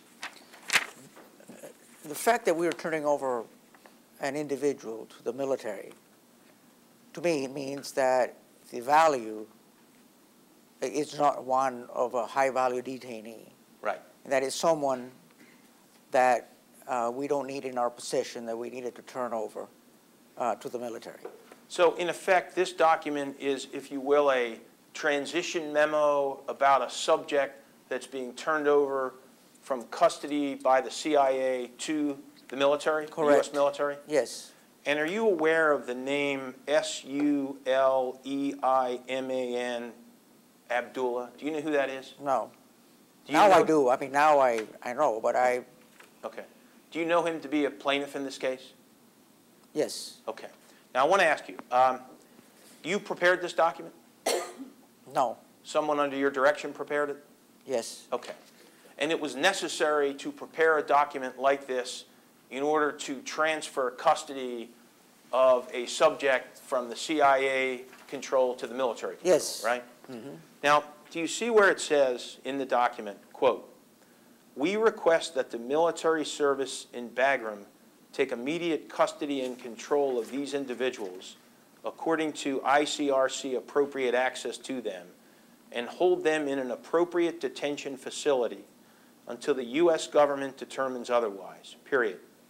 We believe this transfer of detainees to DOD control will assist the USG in addressing some of the concerns raised by the ICRC while ensuring these individuals are removed from the battlefield. Do you see that? yes. Do you have a memory of what the concerns were by the ICRC as they applied to Mr. Salim? I do not have a memory uh, regarding, as they applied to Mr. Salim, I remember in general that they wanted access to detainees. Okay. Do you know why access was wanted? They wanted to do what they do, which is check on them and make sure that they're okay. Do you know why Salim was taken into custody by the CIA? I assume he was, well, he was picked up somewhere. Okay. Let's take, take a look at the second page, if you will. You see where it says, Salim Abdullah is a Tanzanian national suspected of involvement in al-Qaeda's East Africa cell, specifically as a, per in page three, facilitator of the al-Qaeda's 1998 attacks against the U.S. embassies in Nairobi, Kenya, and Dar es Salaam, Tan- Tanzania. Tanzania. Let me stop right there. Was that true? Yes, Okay. And reading on, it says, Abdullah first came to Kenya in 1993 and stayed in Mombasa with East African Embassy bombing fugitive Fahid Mohammed Ali, I'll spell it, M-S-A-L-A-M, with whom he later trained in Afghanistan. You see that? yes, Was that true too? I assume so. Okay. Don't assume, please. Well, How many? maybe. Don't know, okay? Was, uh, let me see if I can cut to the quick here, sir. Was Salim held in custody by the CIA because he was believed to be a part of terrorist activity? Yes, Okay. Take a look at the footnote. Well, it may not be a footnote, actually. There's a space, and then there's information on the bottom of the page. Do you see that? I see it. Do you see where it says legal basis for detention? The law of armed conflict is a sufficient but not the sole legal basis for detention of the subjects. Under that theory, parties to the hostilities have the right to target enemy combatants engaged active hostilities, including the right to capture and detain. Do you see that? Yes, Is that why Salim was detained by the CIA because he was considered an enemy combatant? yes, Okay. Reading on, it says, this is especially true where such detention is necessary to prevent an individual from further engaging in hostilities. Do you see that? yes, Was that a concern of the United States government that Yes. led to his continued detention? yes, Reading on, it says, a combatant can also be an individual affiliated with an organization engaged in hostilities, or one actively support or facilitating such attacks. Each of these individuals is linked to al-Qaeda members and known terrorists, or was captured engaging in active attacks against coalition forces. Do you see that? yes, Is that why Salim was detained? yes, Okay. Is there any doubt in your mind that you, the CIA considered him an enemy combatant? no, Okay. Let's move on then to Rahman. We're going to mark the next exhibit as Exhibit 41. Could I just have a second? I'm sorry?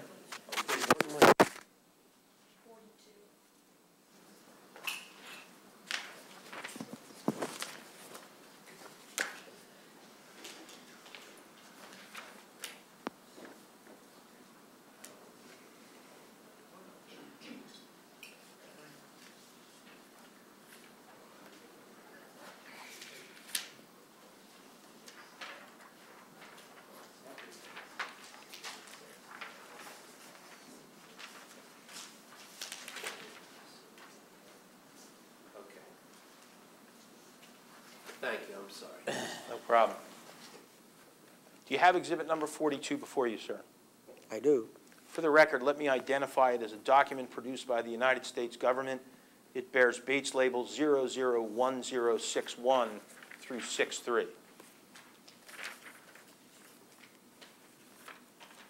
Have you seen this document before today, sir?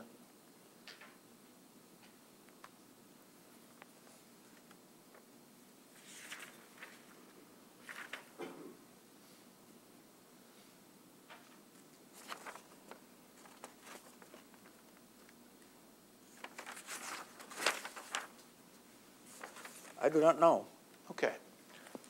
Let me just direct your attention to the subject.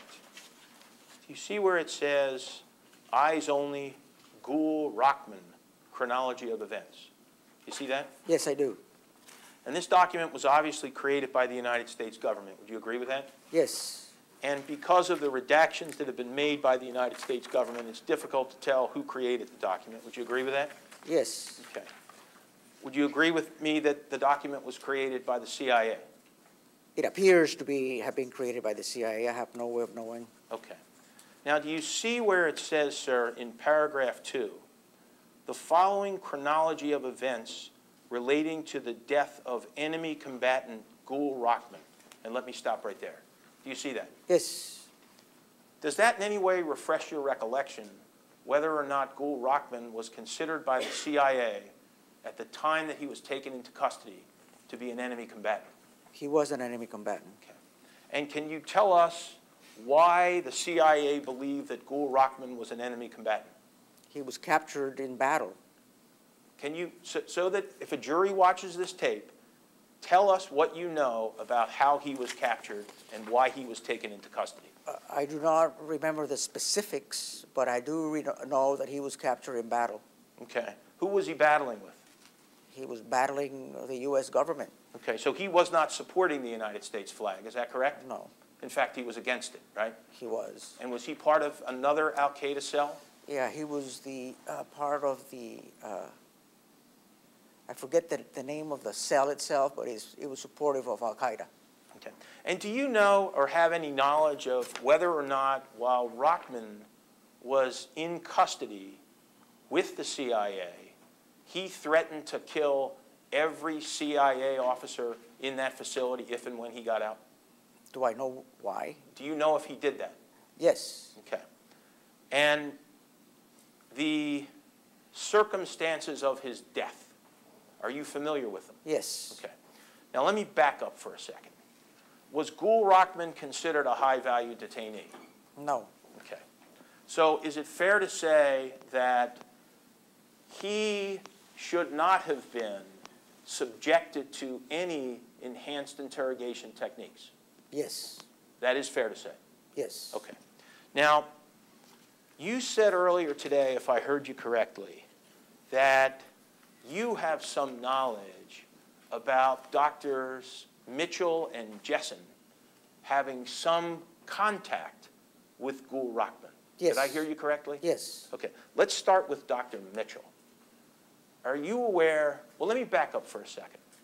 Gul Rahman was in custody for approximately two weeks. Is that right? I do not know. Okay. Um, do you remember if he was in custody for a relatively short period of time? Yes. Okay. And he died in his cell. Is that correct? Yes. Now, that was at Cobalt? Is that where he was kept or detained? Yes. Okay. Now, do, were you familiar with who the guards were, the night guards, who maintained control over the Cobalt facility? Objection. Um, give us a moment to consult. Yes. Can we have a moment to discuss with uh, the witness? You got it. Anytime you need it, just say so. Thanks. Three fifteen